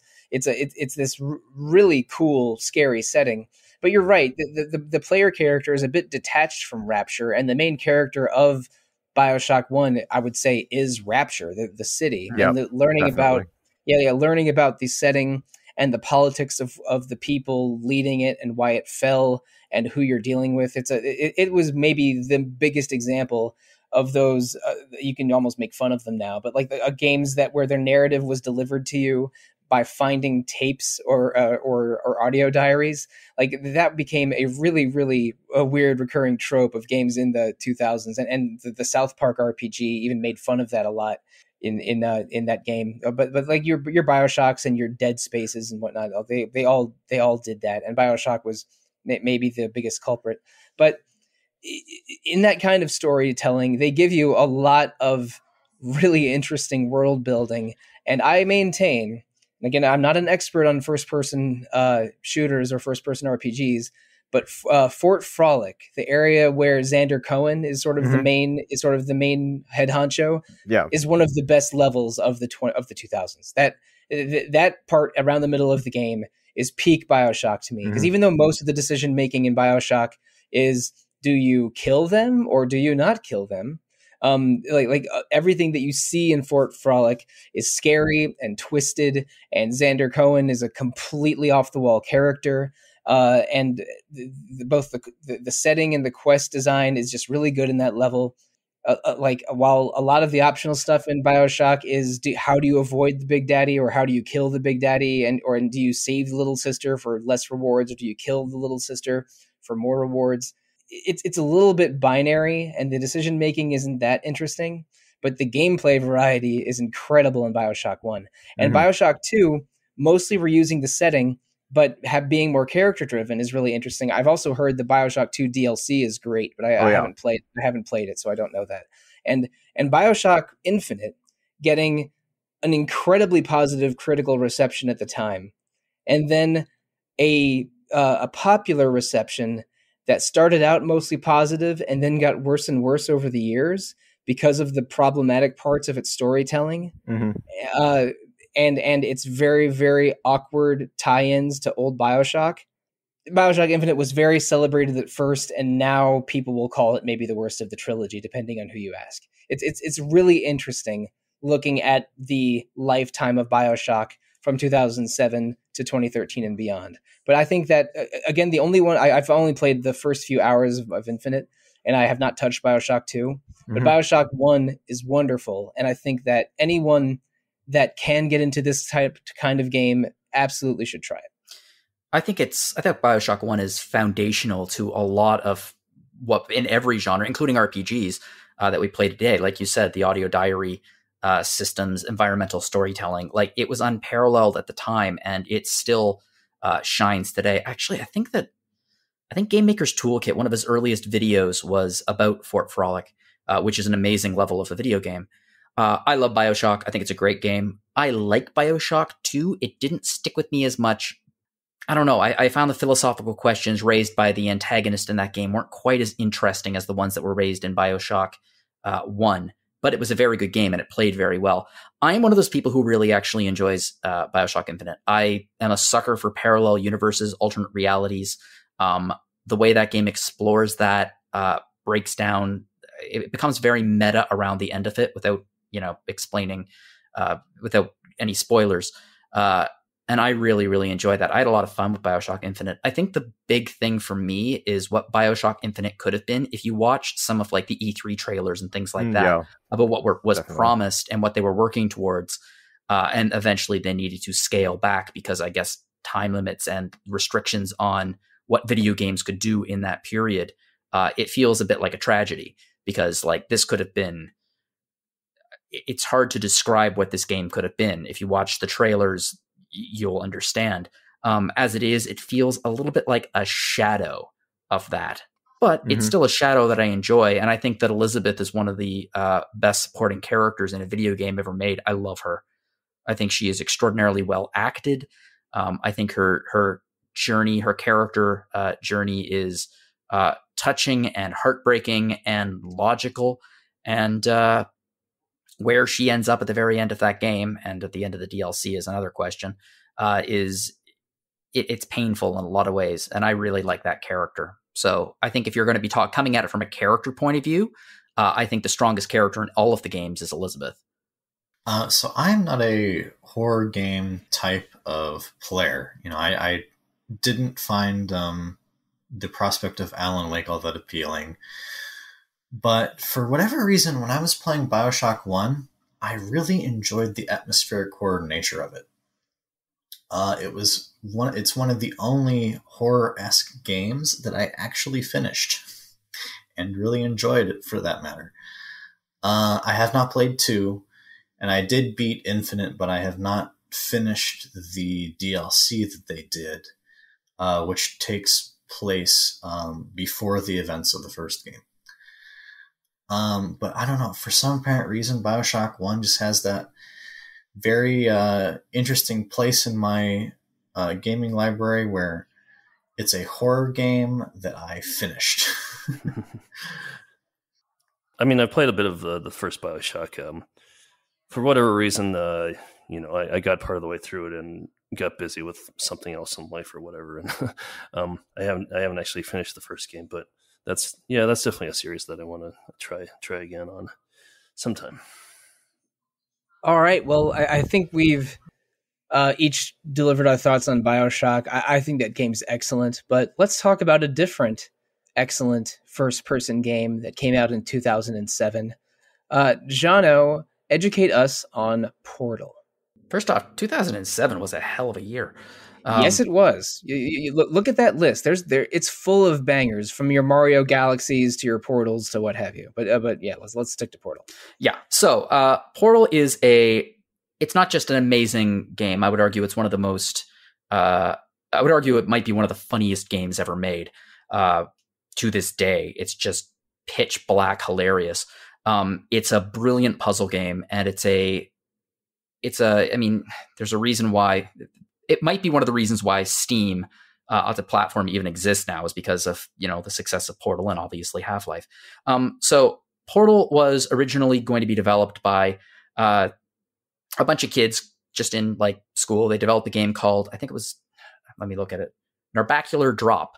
Uh, they created this the, the Portal system, but it was this this game looked very uh, medieval and was kind of like a, it was very grungy and medieval and uh, looked like it, it was almost more of a it was almost more of a tech demo or a proof of concept than a full game, but it it, it, it, it is the Portal Zero that that led to Portal happening. Yeah, and then uh, they they showed it to Valve, and Valve's response was, "Yeah, we'll buy it, and we'll take all of you too." And then they put the entire team to work on creating Portal. Um, and originally, Portal used assets from Half Life because it was using the same engine, and eventually, it, it was revealed it takes place in the same world, but it's very standalone. And the first game is I would argue one of the best experiences to this day uh, you can have playing a video game. Uh, it is a perfect little pearl of a game. It only takes a few hours to play. Um, it's hysterically funny. The character of GLaDOS, uh, who is the antagonist and your, I guess, your companion character who talks to you throughout, uh, is amazing. It ends with probably the biggest and like best surprises of any video game I've ever played. Uh, the ending of this game is legendary for a reason. Um, and it became, you know, it was very popular. And my, what was most amazing, it wasn't even a standalone game. It was released as a part of the Orange Box, uh, and the, which was, you know, included Half Life and I think Half Life Episode One and Team Fortress Two, or was it just Team Fortress One? Uh, no, it was Team Fortress 2, Half Life Episode 1 and 2, and Half Life 2 and Portal. It was five games a full console release. I think it's the only place way to play uh, a, a, Valve game on 360 or PS3. Um, and and and and Valve has been all uh, PC ever since. But I, I that 2007 Orange Box is one of the most sp- special collections of video games ever. But uh, but please continue. Yeah, it's legendary. Um, so anyway, after after that success, they were looking at you know trying to come out with a Portal 2, and they were working with some different um, mechanics, uh, one of which is they they they've never really revealed it, but eventually they realized uh, we're going to stick with Portal, and uh, okay, we're if we're going to bring back GLaDOS, we need to also bring back Chell, who is the main character. Um, but they introduced a, a, new a new delightful character named Wheatley, who has gone down in history as again one of the funniest uh, characters in gaming. Um, and Portal 2 was a massive expansion of Portal 1, which revisited even some of the earlier areas, but introduced uh, introduced some new concepts, some very very smart puzzles, and uh, introduced many many people to uh, the work of J.K. Simmons, who, as many people know, is you know uh, J. Jonah Jameson, but is also I would, Cave Johnson. I would argue equally iconic Cave Johnson here as it, it as, best character in the whole series. Cave Johnson. When life gives you lemons, don't make lemonade. Make life take the lemons back. Make life take the lemons back. Um, it's yeah, it's probably one of the best comedic monologues in all of video games. And come on, but before J. Jonah Jameson, he was on Law and Order in the '90s for like five years or something. Yeah, and He's he was a, on Oz as well. Yeah. Oh, oh God, he was terrifying in Oz. Yeah. Good lord. He's an astounding actor. I think anyone. I think everyone agrees with that. Um, yeah, he he won his Oscar for uh, for Whiplash many years later, but but uh, uh, but again, he absolutely slays it as Cave Johnson. yeah, it's an amazing And oh, performance. and, and, and, and oh goodness, he was um he was in the Invincible cartoon last year. Yes. Yeah, yeah. Yes, he was. He was uh, Omni Man.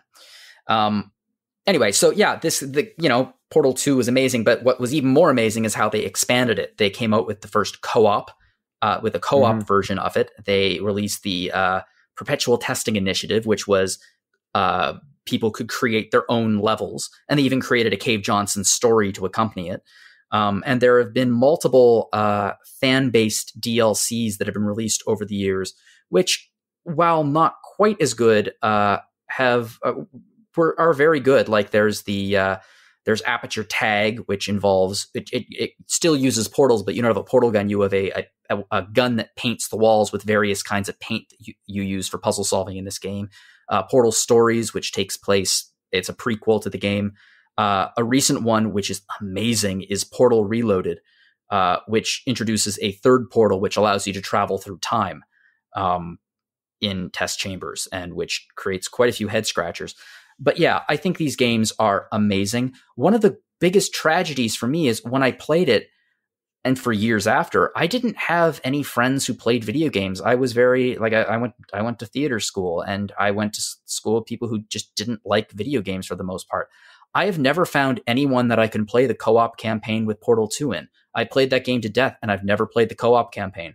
Um, and Amanda is insanely sick when she plays uh, first person shooters. Uh, she can't play them, so I can't play it with Amanda. Um, at some point, I will play it. I will find someone who has never played the perpetu- or has never played the co-op campaign and wants to play it. But until then, yeah, this is a brilliant game. I don't think anyone can argue with that. Um, even if they aren't a fan of puzzle games, it, there's still so many pieces of this that's just it just makes it one of the best video game experiences you can possibly have in my mind. Um, I, I adore Portal and Portal Two. I played them a little bit late. I, I didn't have a. I had laptops for uh, university in the in the late two thousands, but I didn't have a PC that could play good video games until uh, late 2011, early 2012, when I built the machine that I am using right now to p- record this podcast. And uh, I, I had, you know, I already had a Steam account to play some older things on my laptop, but when I uh, loaded up my Steam account on my new PC for the first time, one of the first things I got was a Portal 1 and 2 uh, collection. I think it was at a summer sale or maybe the holiday sale in 2012. I played them back to back, and they were one of the first games I played on my on my new PC when I was exploring good PC gaming for the first time in my life. Because you know, until, until this, then I was I was still playing StarCraft One in 2010 on an old laptop that was that was on its last legs. But it, playing them back to back was so special to me, and uh, I, I think Portal Two is one of the great video game sequels. It expands the world and expands the gameplay and and uh, adds and it tells a great story without feeling like it loses control of its of its narrative. And it's fun throughout. It doesn't it doesn't stay around too long and or ever get boring. And then it has all this cool multiplayer stuff that I didn't I didn't play the multiplayer with friends on PC, but one of my friends that had Portal 2 on his 360, um, I, I played it with him uh oh i don't know I, I think i think sometime after i finished the single player story on my own and and the the co-op is as good or better than the gameplay of the main story It- portal and Por- portal 1 and 2 are capital a accomplishments Mm-hmm. uh but yeah portal 1 and 2 are amazing no, nothing bad to say about either of them Uh, early on, when uh, my wife and I were dating, what- Portal Two was one of the games we played together. Uh, definitely uh, helps you work on your communication. um, If it doesn't bring you together, it'll break you up. yeah. um, and uh, the um, the uh, the guy who wrote the uh, the theme song for I believe the first one, the the cake song. jonathan Uh, coulton uh, who wrote yeah he also he also wrote theme songs to at the end of portal 2 and at the end of I, I think I think like it was uh, like Lego Batman or one of one of the no, he wrote a new one for Portal for the Portal uh, DLC of Hmm. uh, Lego Dimensions. That's- he wrote a brand new That's one. what it was. Yeah, I- I knew it was a Lego game, but yeah, he wrote a third one for Legos that for the Lego game that mentions Batman in it. But yeah, Jonathan Coulton is uh, he's also the co-host of a game show called Ask Me Another. That was the inspiration for the Retro Encounter game shows. Oh, we got to see Jonathan Coulton, Coulton in concert actually. Uh, Oh, that's he, uh, awesome. he did he did play the cake song. Oh, Uh, and it was it was pretty amazing. Um, you know, of course it was acoustic and it was only him singing, not the And It, it was it was not the studio version, but still, I, I, that definitely counts. Yep. I really um enjoyed uh Portal 2. I've actually never gone back and played 1. Do it. I've only played 2. You should you should go back Um, and play Portal One. It's uh, It's like it's like it's like five I- hours. You can beat that thing in an afternoon. Oh, I'm sure. Um Portal 2 has just very good puzzles and it's also paced very well too. It actually has a, a little bit of a narrative to it. Mhm. Um and it has like two or three distinct uh halves or parts. Uh, I like the I like the writing a lot. I like J.K. Simmons uh, and the voice actors for GLaDOS and um, what what's the Wheatley- other Wheatley, voiced by Stephen Wheatley, Merchant. Yeah, Yep. Wheatley. Um, and just the way that the story uh, goes halfway through is, is is a really cool twist. I thought I'm not going to say what it is or anything. Um, I really hope that they that Valve themselves will go back and revisit the franchise like every other franchise that they have that they have Hmm. yet to revisit. Yeah, they're making way making way too much money on Dota 2 to care about almost anything else. I know, like the only web, the only franchise of theirs that they update, not in numbered sequels, but they update Half Life quite uh, often or relatively N- often. not but enough. I- like people have been crying about Half Life Two Episode Three for way longer than about a potential Portal Three. But I, I just, I just feel like Portal gets, it, it needs more. I want more Portal. I'll go back and play the first one at some point. But They do reference Portal. I mean, when they first released a lot of their VR tools, uh, their one of their first, uh, some of their first like demos and like uh, and uh, test things were was set in Aperture Laboratories, so and in Aperture Science. So they are referencing and they are doing things. It seems to me that Portal Three. I don't even have VR, but if they're going to be releasing a Portal Three, it's got to be on VR. That's just an astoundingly Portal game. Yeah. well, yeah, I mean, Half Life Alyx was one of the better VR experiences that's been made. So Valve is definitely in, in, interested in VR, and a, a, a, a Portal game in VR makes sense. But I have no idea what the timeline for that would It be. It sounds No. like it will make. I think it'll be a game that'll make a lot more uh, people motion sick than other VR games, just because of the concept of the game. a lot of falling. Yeah. I mean, they could make it work if they tried, and I sure hope they do release another Portal game in one way or another. I mean, pretty much, Portal One was yeah, definitively one of the funniest games to this day that I've ever played. Oh God, it's And funny. Portal Two has been one of the definitive um, co-op experiences back when I still had my PS3, and even now on PC with my friends that I play with sometimes. And it is, yeah, it's just fantastic. I feel like the co-op is just, it's it feels it's so well like handcrafted, so such perfectly made for co-op. Like when you, like there's so many puzzles where uh, it's like, wow, this is made perfectly for co-op.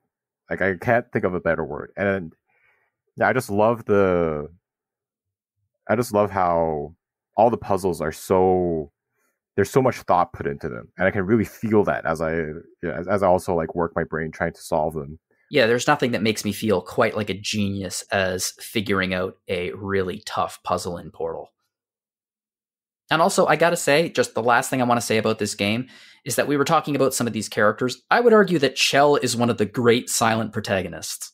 Uh, because there's an entire, it's not just she's silent because, you know, they don't want to write dialogue for her. She's being silent because she is way too stubborn and she refuses to talk to GLaDOS. That is like canonically, she just refuses to talk.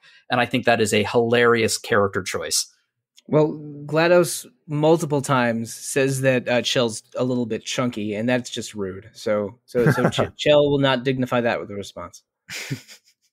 Okay, okay, if we are uh, talking about the appropriateness of discussing the weight of others in the room, I think it's time to move to a a, a, different sort of mm, we're, we're not not a million miles away from Bioshock, a game with zombies and horror elements that and a lot of production value and critical acclaim. Abe, tell us about The Last of Us. It's uh, it's pretty different from, from Bioshock, really. Uh, yes, it is. um, I was I was looking for any segue I could find. Yeah, it's a nice try. The Last uh, of Us? Uh, no, no, no. It, Big Daddy and Little Sister. Perfect.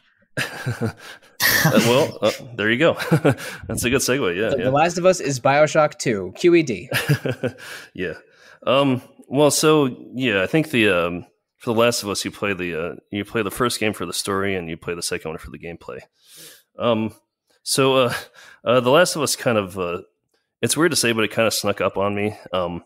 You know, it's, it's obviously a big AAA game, but um, you know, uh, the Walking Dead TV show came out in 2010, and uh, after that, there was you know the big resurgence, and everything was everything was zombies.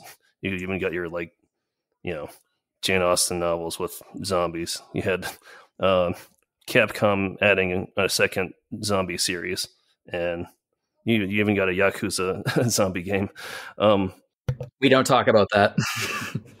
so, uh, yeah, it kind of snuck up on me to be honest. Um, I wasn't you know, when Naughty Dog announced that they're making a zombie game, I was not really looking forward to Uncharted with zombies.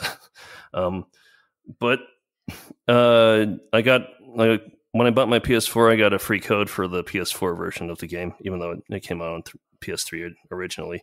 And I didn't have any other games to play for the PS4 at the time, so I, you know, booted it up and yeah, I mean the the first game it kind of is Uncharted with zombies. It's that's not not wrong to uh, to describe it that way. But um, yeah, I you know talking about big uh, Big Brother uh, and such. Um, yeah, the uh, the story with um, you know an old gruff guy, uh, you know, losing his family and then uh, teaming up with a, a younger girl to uh, try to survive the zombie apocalypse. It, I mean, the, those stories of the old guy and the the, young person always always get me.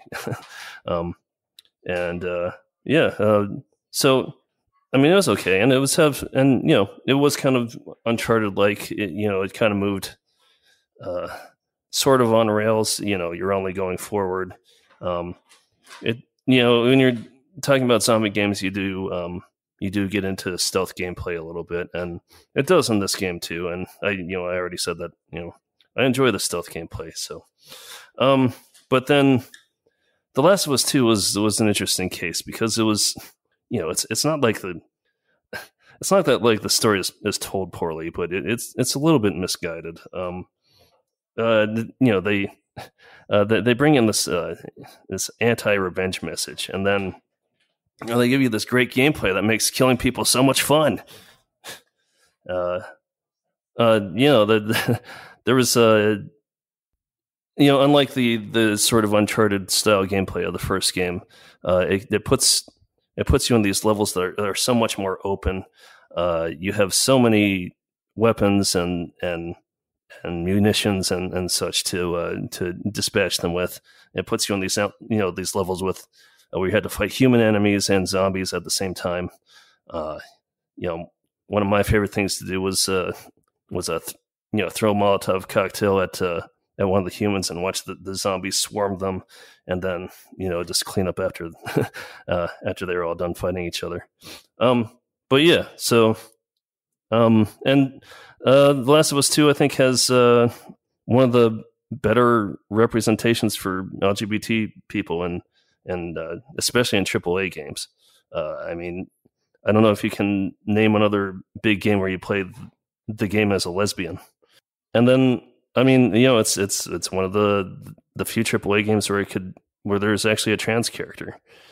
So, uh, yeah, I um, I uh, you know, I I know the the series has it has some issues, but um, yeah, I, I really enjoy Uncharted with zombies. Apparently, um, I really enjoyed the gameplay of Uncharted and um, Last of Us, especially to me uh, is a bit uh, hit or miss. I enjoyed uh, the gameplay of Last of Us 2 more than 1 just because it was their more recent game. They've got more used to their uh, shooting mechanics in Last of Us. Um, but I enjoyed the story of one a lot more than two. Um, I did not think two's story was all that good. The characters were good. It's just that the the circumstances uh, that they were put in that I didn't really like. Um, you mentioned earlier uh, some of the interactivity within the combat spaces, uh, with throwing a Molotov cocktail at a human and then having all the the zombies go over to the human. That's one of the things that I liked a lot about um, one and especially two was I felt like I had more options to deal with uh, all the combat spaces, or I could just avoid them entirely in uh, two's case at points. Um, that's what I think, other than the story of one, that's what I uh, enjoy most about the Last of Us games was the um, the approachability to some of the combat spaces in the game, especially two. The Last of Us One was, I feel, it was one of the last games released on PS3, I think, and unfortunately, I I, I haven't gotten around to playing um, either of the games, but The Last of Us One was definitely probably one of the most enjoyable playthrough watching sessions I've had. Like I just it was it was a 20 hour movie for me basically and I enjoyed every minute of it almost. Uh, I think the second game also has maybe like the most one of the more positive visions of like post apocalyptic society. Uh, it, it, you know, it, you have a, a commune of people who generally just kind of get along together, and uh, you know, bigotry is is uh, is actually seen as you know something worth kicking someone out of the colony for, sort of. I haven't played either one of the games. I bought the first one. It's on my PS5 to be played at some point in the future, but I have to admit that the discourse about The Last of Us 2 has actively put me off playing either game in the series. And I'm not talking about whether you you know everyone on here whether you like it or dislike it or like or dislike the story. Uh, it's one of those situations where a large portion of the internet got in their corner and the other side was evil and wrong and didn't have any right to their opinion. Uh, it was it, it's one of those it's one of those internet conflicts which I just was kind of like I don't really want to get involved in this, yeah. even with my own opinion in my own head. Um, so I yeah. sort of didn't. I decided just not to play the first game. At some point, I probably will because I own it, and yeah, I've heard it's an extremely good game. Um, and then I'll make the choice to play the second. But yeah, I don't know. It's just something about the discourse has left a bad taste in my mouth about the series, and I think that's a real shame. Yeah, The Last of Us 2 community writ large is extremely toxic, which is unusual because the game had a lot of critical acclaim and a lot of fan acclaim, and you, you'll see very smart people on the internet speak very highly of it. But if you go onto something like the Last of Us subreddit or a Last of Us large community forum or something, and it will just be disgusting, just just the absolute worst. So I, I don't want to judge it for that. I'm going to judge it because, as we've established before, I don't like stealth games, and I have tried to play.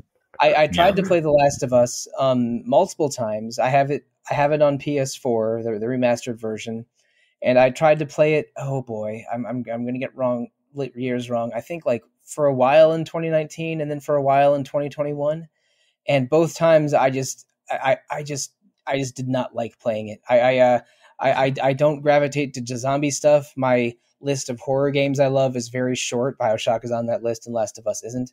And I don't really like a lot of stealth gameplay, so I own Last of Us one, but not two. And I I haven't gotten uh, uh, probably further than hour three or four because I just I just I just wasn't interested. But that is definitely a me problem and not a Last of Us problem. In in regards to um Last of Us 2's story and just um, character choices. It's yeah, hearing about it out of context, um, which is where most of the internet discourse lied. It it was much better in context, but for me, I feel like the story of two took a few risks, and I don't think any of them particularly paid off all that well. Um, one of these risks was leaked way early, um, but honestly, I think in the grand scheme of things, certain events kind of got a little bit too much hate uh, for thrown at Naughty Dog. Um, and it's kind of unfortunate, honestly. It's it's a game, it's a piece of art.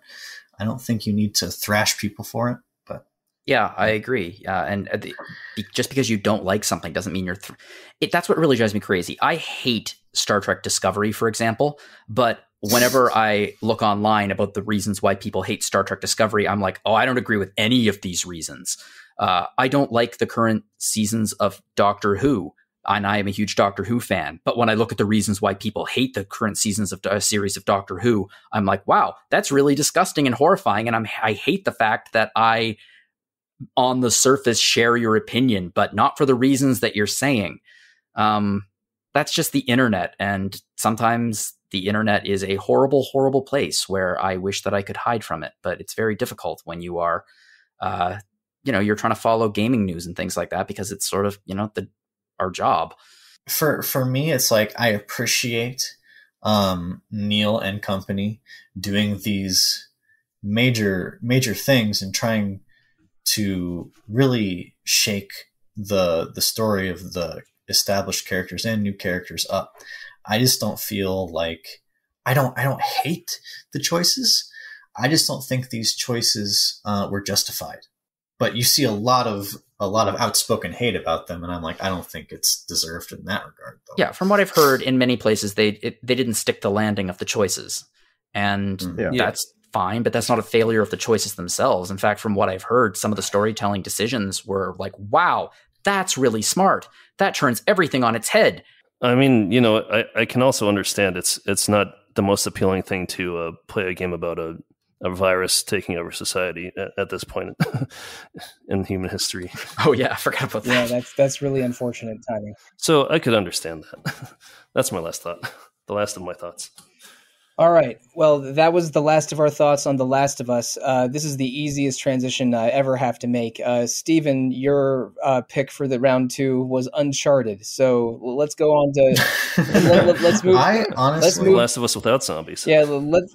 I well, uh, you you say that, but a couple Uncharted games have Nazi zombies in them. So, oh. Uh, so uh, Stephen, let's let's you know talk about. Um, let's see, what is it? it uh, Indiana Drake or Man Raider, as it were. so let me preface this with I don't know how you did not come to Abe and I to switch topics. I, I, I, didn't. There, you, you, didn't pick the same topic, so I decided to let it go. Well, these are just they're both by the same developer, and they, um, you know, zom- zombies inclusion or not, they share a lot of um like gameplay philosophies with each other. Uh, granted, Uncharted's more um, frantic. It's a lot more frantic than uh, Last of Us usually is. Um, I am a passive fan of the trilogy. I came on board with um, the Nathan Drake collection on PS4. Um, and Bluepoint did an amazing job with those remasters. Uh, in that sense, I don't think the PS3 games aged all that well, but they still have this really cool uh, Indiana Jones esque movie quality to them. The first three games, at least. I'll talk about four and Lost Legacy in a second. Um, but I think they also offer a bit of um, a good challenge, uh, and it's a different kind of challenge than what Last of Us offered, where it's more, um, it's a lot more chaotic uh, and um, situational in that way. Uh, Uncharted Three came um, after Last of Us One, I don't know. I think the two teams were different. Um, but what I'm just trying to say is, it's two interesting halves. I think I prefer the Uncharted half more on the gameplay side, um, especially because uh, the accessibility options, especially recently, have been very good uh, for all of their games. Um, and then beyond the original trilogy, I honestly think that four and Lost Legacy are leaps and bounds better than the than the first three games. I really enjoyed four. It was Neil Druckmann's take on these characters, um, and I think he portrayed or he wrote them uh, better than the trilogy did. I think the trilogy was um, much more popcorn style, uh, Indiana Jones inspired games but I think the fourth game uh, took that and added a lot more character depth to it, while also making the games uh, more open than the original trilogy was, because it was just like Last of Us One. limited by the PlayStation 3. It was more of a corridor type of game series before. Um, and then Lost Legacy is that open area that four had but blown up by two. That was where most of the game took place. And, and Lost Legacy took um, the best character from Uncharted 2 and the best character from yes. Uncharted 4. Yeah, Chloe. And, and, I love then, Chloe. Chloe's yeah, a great just, And just had a, you know, the, the, the two best female leads in the series just banter for uh, eight hours, and it was it was a great decision. Absolutely, I um, my favorite character, I think, um, outside of um, uh, Nathan Elena and Sully is Chloe in the whole series. I think she's a fantastic character, and I'm glad that she got her own uh, time in the spotlight again. Because I don't think before Lost Legacy came out we would ever see that character again. So I'm very glad that we did. Yeah, she's only in Uncharted three for like five minutes, which is def. Was she? I don't even. Know. No, she remember. was in the. She was at the heist at the beginning, and then that was it. She was in the. That was so, it. So, wow. so she was in maybe two huh. missions early on in Uncharted three, and then that was it. But she's a yeah. but she's she's a dominating force in Uncharted Two, and it was awesome seeing her again in Lost Legacy. Yeah, one of the two two last things. Um, one of the reasons why I like Four and Lost Legacy more is because I like that for these two games they removed the um, or largely abandoned, except for the multiplayer, uh, the supernatural elements. Hmm. um, it was more uh, grounded in that sense, which I appreciated more and um, I can't wait to play the collection that, at time of recording, is going to come out in two weeks. So, um, I have a lot of Uncharted thoughts. I got a PS3 in 2009, and Uncharted Drake's Fortune came with it.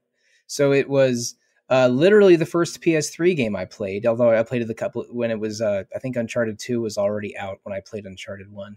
Um, and a, a, small correction, Stephen. Uncharted Three did come out before Last of Us. Uh, they, they were uh, Uncharted Three was 2011, and Last of Us was 2013.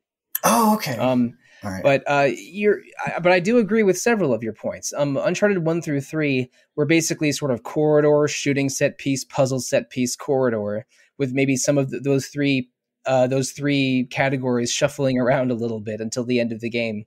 And they are kind of, they do sort of like start out as a genuinely interesting cinematic treasure hunting story that eventually dissolve, devolves into supernatural nonsense. Like, uh, w- without, um, without spoiling it too much, it's like, oh, it turns out that the little, the legend of El Dorado was really zombies. Like, like, and, and, a, and twists not that dissimilar to that one in all three of those games. Um, and yeah. uh, and they're exciting and fun to play through once, but it is really it's really a bit of a roller coaster ride. It's, it's sort of in and out, and unless you really want to collect, um, uh, like Magic Eye, find the relic, then I don't think there's a ton of value um, revisiting them. Or it's ter- or it's terribly it's not that interesting re-experiencing those gameplay bits. Although some of them are really good. Like I like I love the temples and puzzle stuff in Uncharted 2.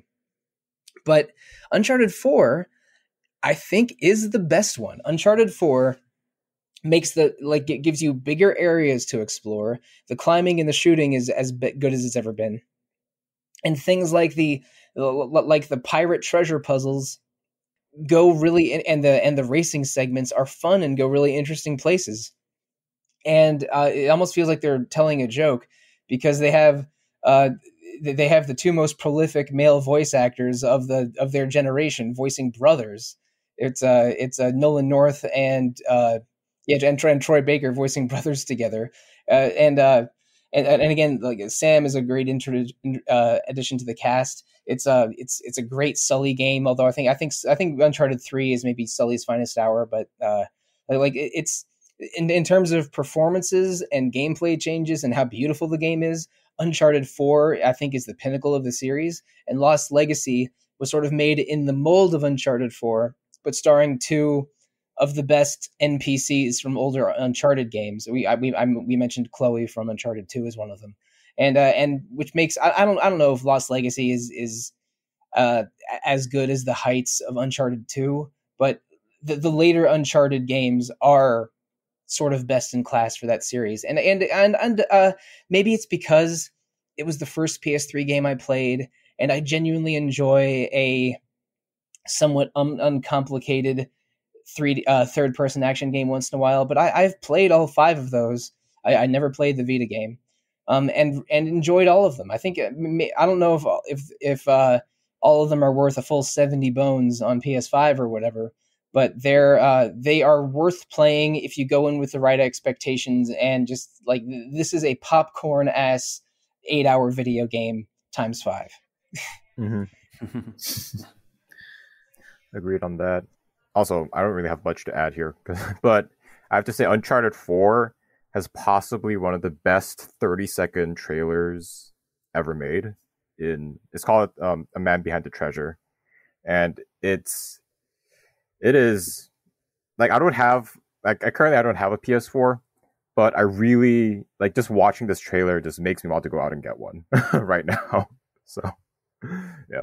And you know, as a one aside, um, I, I don't remember every detail about uh, Lost Legacy, but the first four Uncharted games um, highlight three of the best lost treasure real life stories because uh, uh, the first one is uh, El Dorado, the second one's Shambhala, the third one is Iram of the Pillars, and the fourth one is Libertalia, the the the, the pirate utopia. And those are three real, uh, four real legendary places that could inspire an Indiana Jones uh, or Tomb Raider like adventure. And I thought I thought that was cool, like bringing a little bit of nonfiction into the, this very fictional but but overall pretty fun uh, series. So the treasure of uh, Lost Legacy is the Tusk of Ganesh. I don't know a whole lot about the. I knew uh, I knew that? it was Indian and tying into the heritage of, of both protagonists, yeah. but I, I, forget the name of it. I'm sorry. Um, I don't know a whole lot about the the history and background of um, you know, the the real world past or like mythos in India.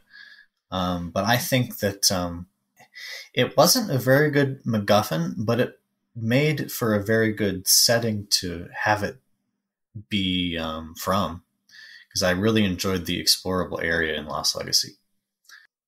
I like any conversation where someone gets to say MacGuffin. I mean, really, that was what that's kind of what these this series is. It's a series of trying to track down MacGuffins. I mean, I mean, look, we all play video games. We we have tracked down many a MacGuffin over the years. oh yes, I, I, I, had to I had to find the five I had to find the five Master Core MacGuffins in Tales of uh, Rise, not not twenty one days ago.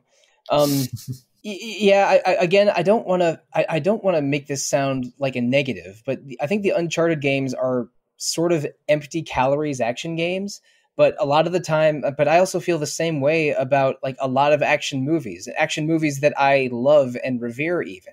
And and these are just really beautiful fun versions of those but i'm but none of them are going to show up on my top 10 favorite games uh list that i can concoct. Like if you can get these at a reasonable price and know what you're getting into they're awesome. But if you're expecting like a uh, a meaty rpg or a uh, or an action game with a lot of customization and and precision. That's not these. If you want something that's beautiful and fun and has snappy dialogue, and you're and you can be in and out in like in like three evenings of playtime, then that, that's exactly what these are. And uh, and I, I think Uncharted Four is the best one, but they're all worth playing. Yeah, and Uncharted Four is uh, the longest as well. I think that one averages around um, 12 to 16 probably I'd, I'd have to check how long to beat but they they don't they they, they feel yeah. like short-ish experiences yeah the first three are definitely you can beat in a couple yeah but, but as rpg games. players all five of us are long are used to some long ass games and and uh yeah and uh yeah. yeah exactly and final fantasy 14 this ain't uh, but yeah if you if you treat them as kind of what they are being like um fast paced uh, popcorn action flick games, I think you'll have a good time. All right. Well, that is uh, discussion of 10 games or kinds of games or series that are definitely not RPGs. So, listeners, I hope you found this entertaining or illuminating or at, or you know however you felt it thank you for joining us for this over two hour epic discussion of 10 things that aren't rpgs and those things were uh, capcom fighting games hollow knight remedy studio games metal gear solid games tetris effect customizable and deck building card games Bioshock series, the Portal series, the Last of Us series, and the Uncharted series. Uh, all of those are worth playing or worth checking out. If you were unfamiliar with any of the ones we discussed, but they sound interesting, then you are a few Google searches away from trying them for yourselves. But uh, let I have before we move on to housekeeping, I have one final thing I want to spring on you guys. Uh, and going to keep this short to 30 seconds each or so.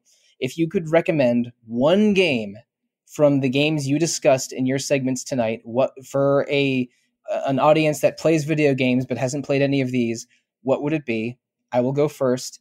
Uh, I think that uh, listeners should go if they are interested in that discussion on deck building games that we had a little while ago. I would recommend trying out Monster Train. Monster Train is a deck is a deck building card game where you are a, a group of demons trying to uh, trying to get the last flame of hell to the middle of hell because you've lost a war to the angel angels and hell has frozen over frozen over. It, it, it's really fun and colorful and once you grasp the rules it is just uh, it is just really fun to do a 30 minute run of it and i have uh, i've unlocked a lot of stuff in it but i have not gotten anywhere near uh, the end of the depth that that game can confer. So if you're interested in a cartoony heaven versus hell card game uh, uh, Monster Train comes highly recommended. Uh, Dom, what's the one game you would recommend from the set you talked about tonight? Yeah, if you're vaguely interested in or have like Souls likes, then Hollow Knight is 100% a game you should try out. It perfectly encapsulates that vibe and it has its own twists to it, and it is a fantastic game to play as well. And it is amazing value on Steam. What's there not to like? Perfect. And Jono? Uh, Portal. It's one of the greatest video games ever made. Uh, it's incredibly clever. It's pitch perfect funny. Uh, and you can get it insanely cheap on any Steam sale. It's well worth it at full price, but if you get it on Steam sale, you can get it really, really cheap. Just buy it. Just buy it offhand. Play it when you feel like it. You're in for a treat. Yeah, log in, add it to your wish list, and then buy it when it's three dollars or less because it'll it's probably just a matter of weeks. Now, Abe, same question.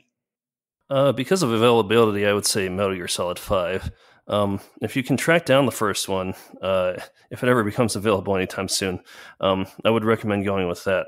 But you know, five is available and and it's a great game and it's you know a fun sandbox to play with and it still incorporates all the quirky Hideo Kojima ness of of the series. And that'll just make you one more player that has to um, demilitarize all of your nukes before the world can see the true ending. that's right. That, that's never going to happen. Uh, listeners, yeah. if you don't if you don't know what that means, look it up because I'm not going to explain it here. Uh, but but uh, Steven, what's your pick for one game among the set you talked about today?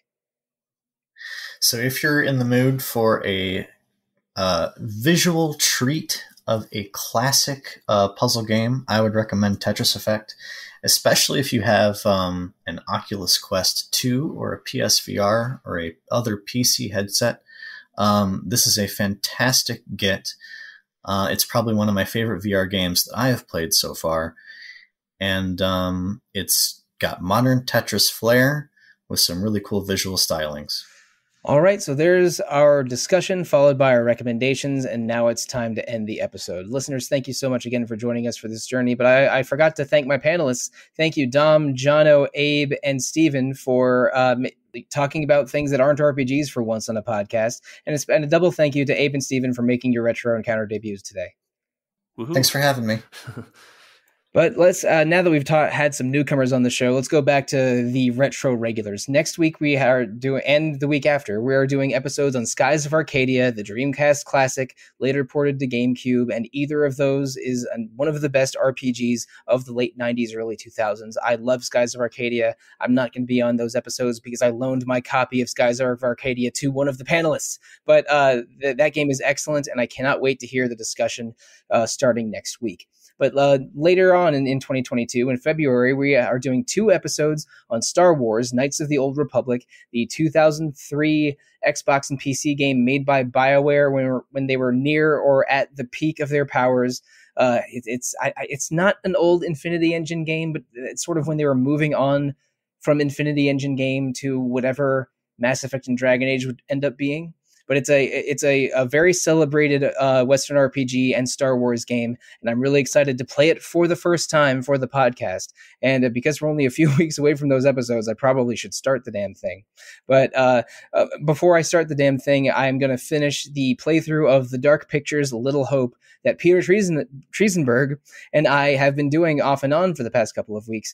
I, I don't play a lot of horror games, so uh, Peter may uh, make fun of me for being a giant baby on that podcast when we record it. But we are playing The Dark Pictures Little Hope.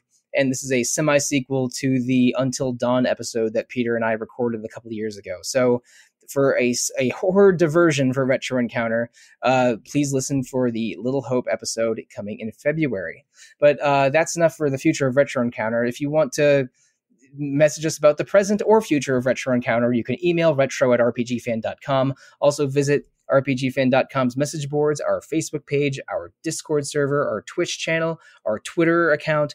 All of those are called RPG Fan or RPG Fancom. Something streaming every day on Twitch. Usually it's Scott, but uh, sometimes uh, Steph or Max makes a cameo appearance. We also have three other fine podcasts on RPG Fan. There's Random Encounter, hosted every two weeks, mostly about randomness, mostly starring Jono Logan. Hello and also Rhythm Encounter every other two weeks, mostly hosted by Mike Salvato and always about RPG music. There's also Phoenix Edge, our partner podcast hosted by Hat and Eric. They're on hiatus right now, but they will be coming back in 2022, and their topics of discussion are usually RPGs and RPG current events. You can review Retro Encounter or those three other fine podcasts on Apple Podcasts, Google Play, Spotify, whatever you choose. Give us feedback. We love feedback, five stars preferred. And if you want to give us five star feedback as individuals, let's share our social media with the listeners, starting with you, Jono. Okay, you can find me at Jono underscore Logan on Twitter. You can also send me an email at jlogan at rpgfan.com. Or if you want to send something about Random Encounter, you can send it to podcast at rpgfan.com. Now, Abe. Uh, best way to find me is on Twitter. It's uh, at, at Babe Moby, uh, B A B E M O B Y. Now, Dom. Uh, you can find me hanging out in the Discord most of the time under the handle of DH Canny. Now, Steven. You can find me on Twitter at Steven Mattern Zero, no spaces, no underscores. Um, and uh, you can find my music reviews and news coverage on RPGFan.com. And for me, listeners, you've heard me say this possibly over 200 times. I'm Mike Sollosi. I'm easiest to find on Twitter. I am at the Real Monsoon most of the time, at Evoker for Dogs other times, and on the RPG Fan Discord, I am Monsoon Mike. But all right, this did give me some more games to play. I'm wondering if I should uh, give Bioshock Infinite another chance, or see if uh, my PS5 can run Control okay. I have a lot of questions, but none of them are about RPGs. Thank you. Good night, and good luck.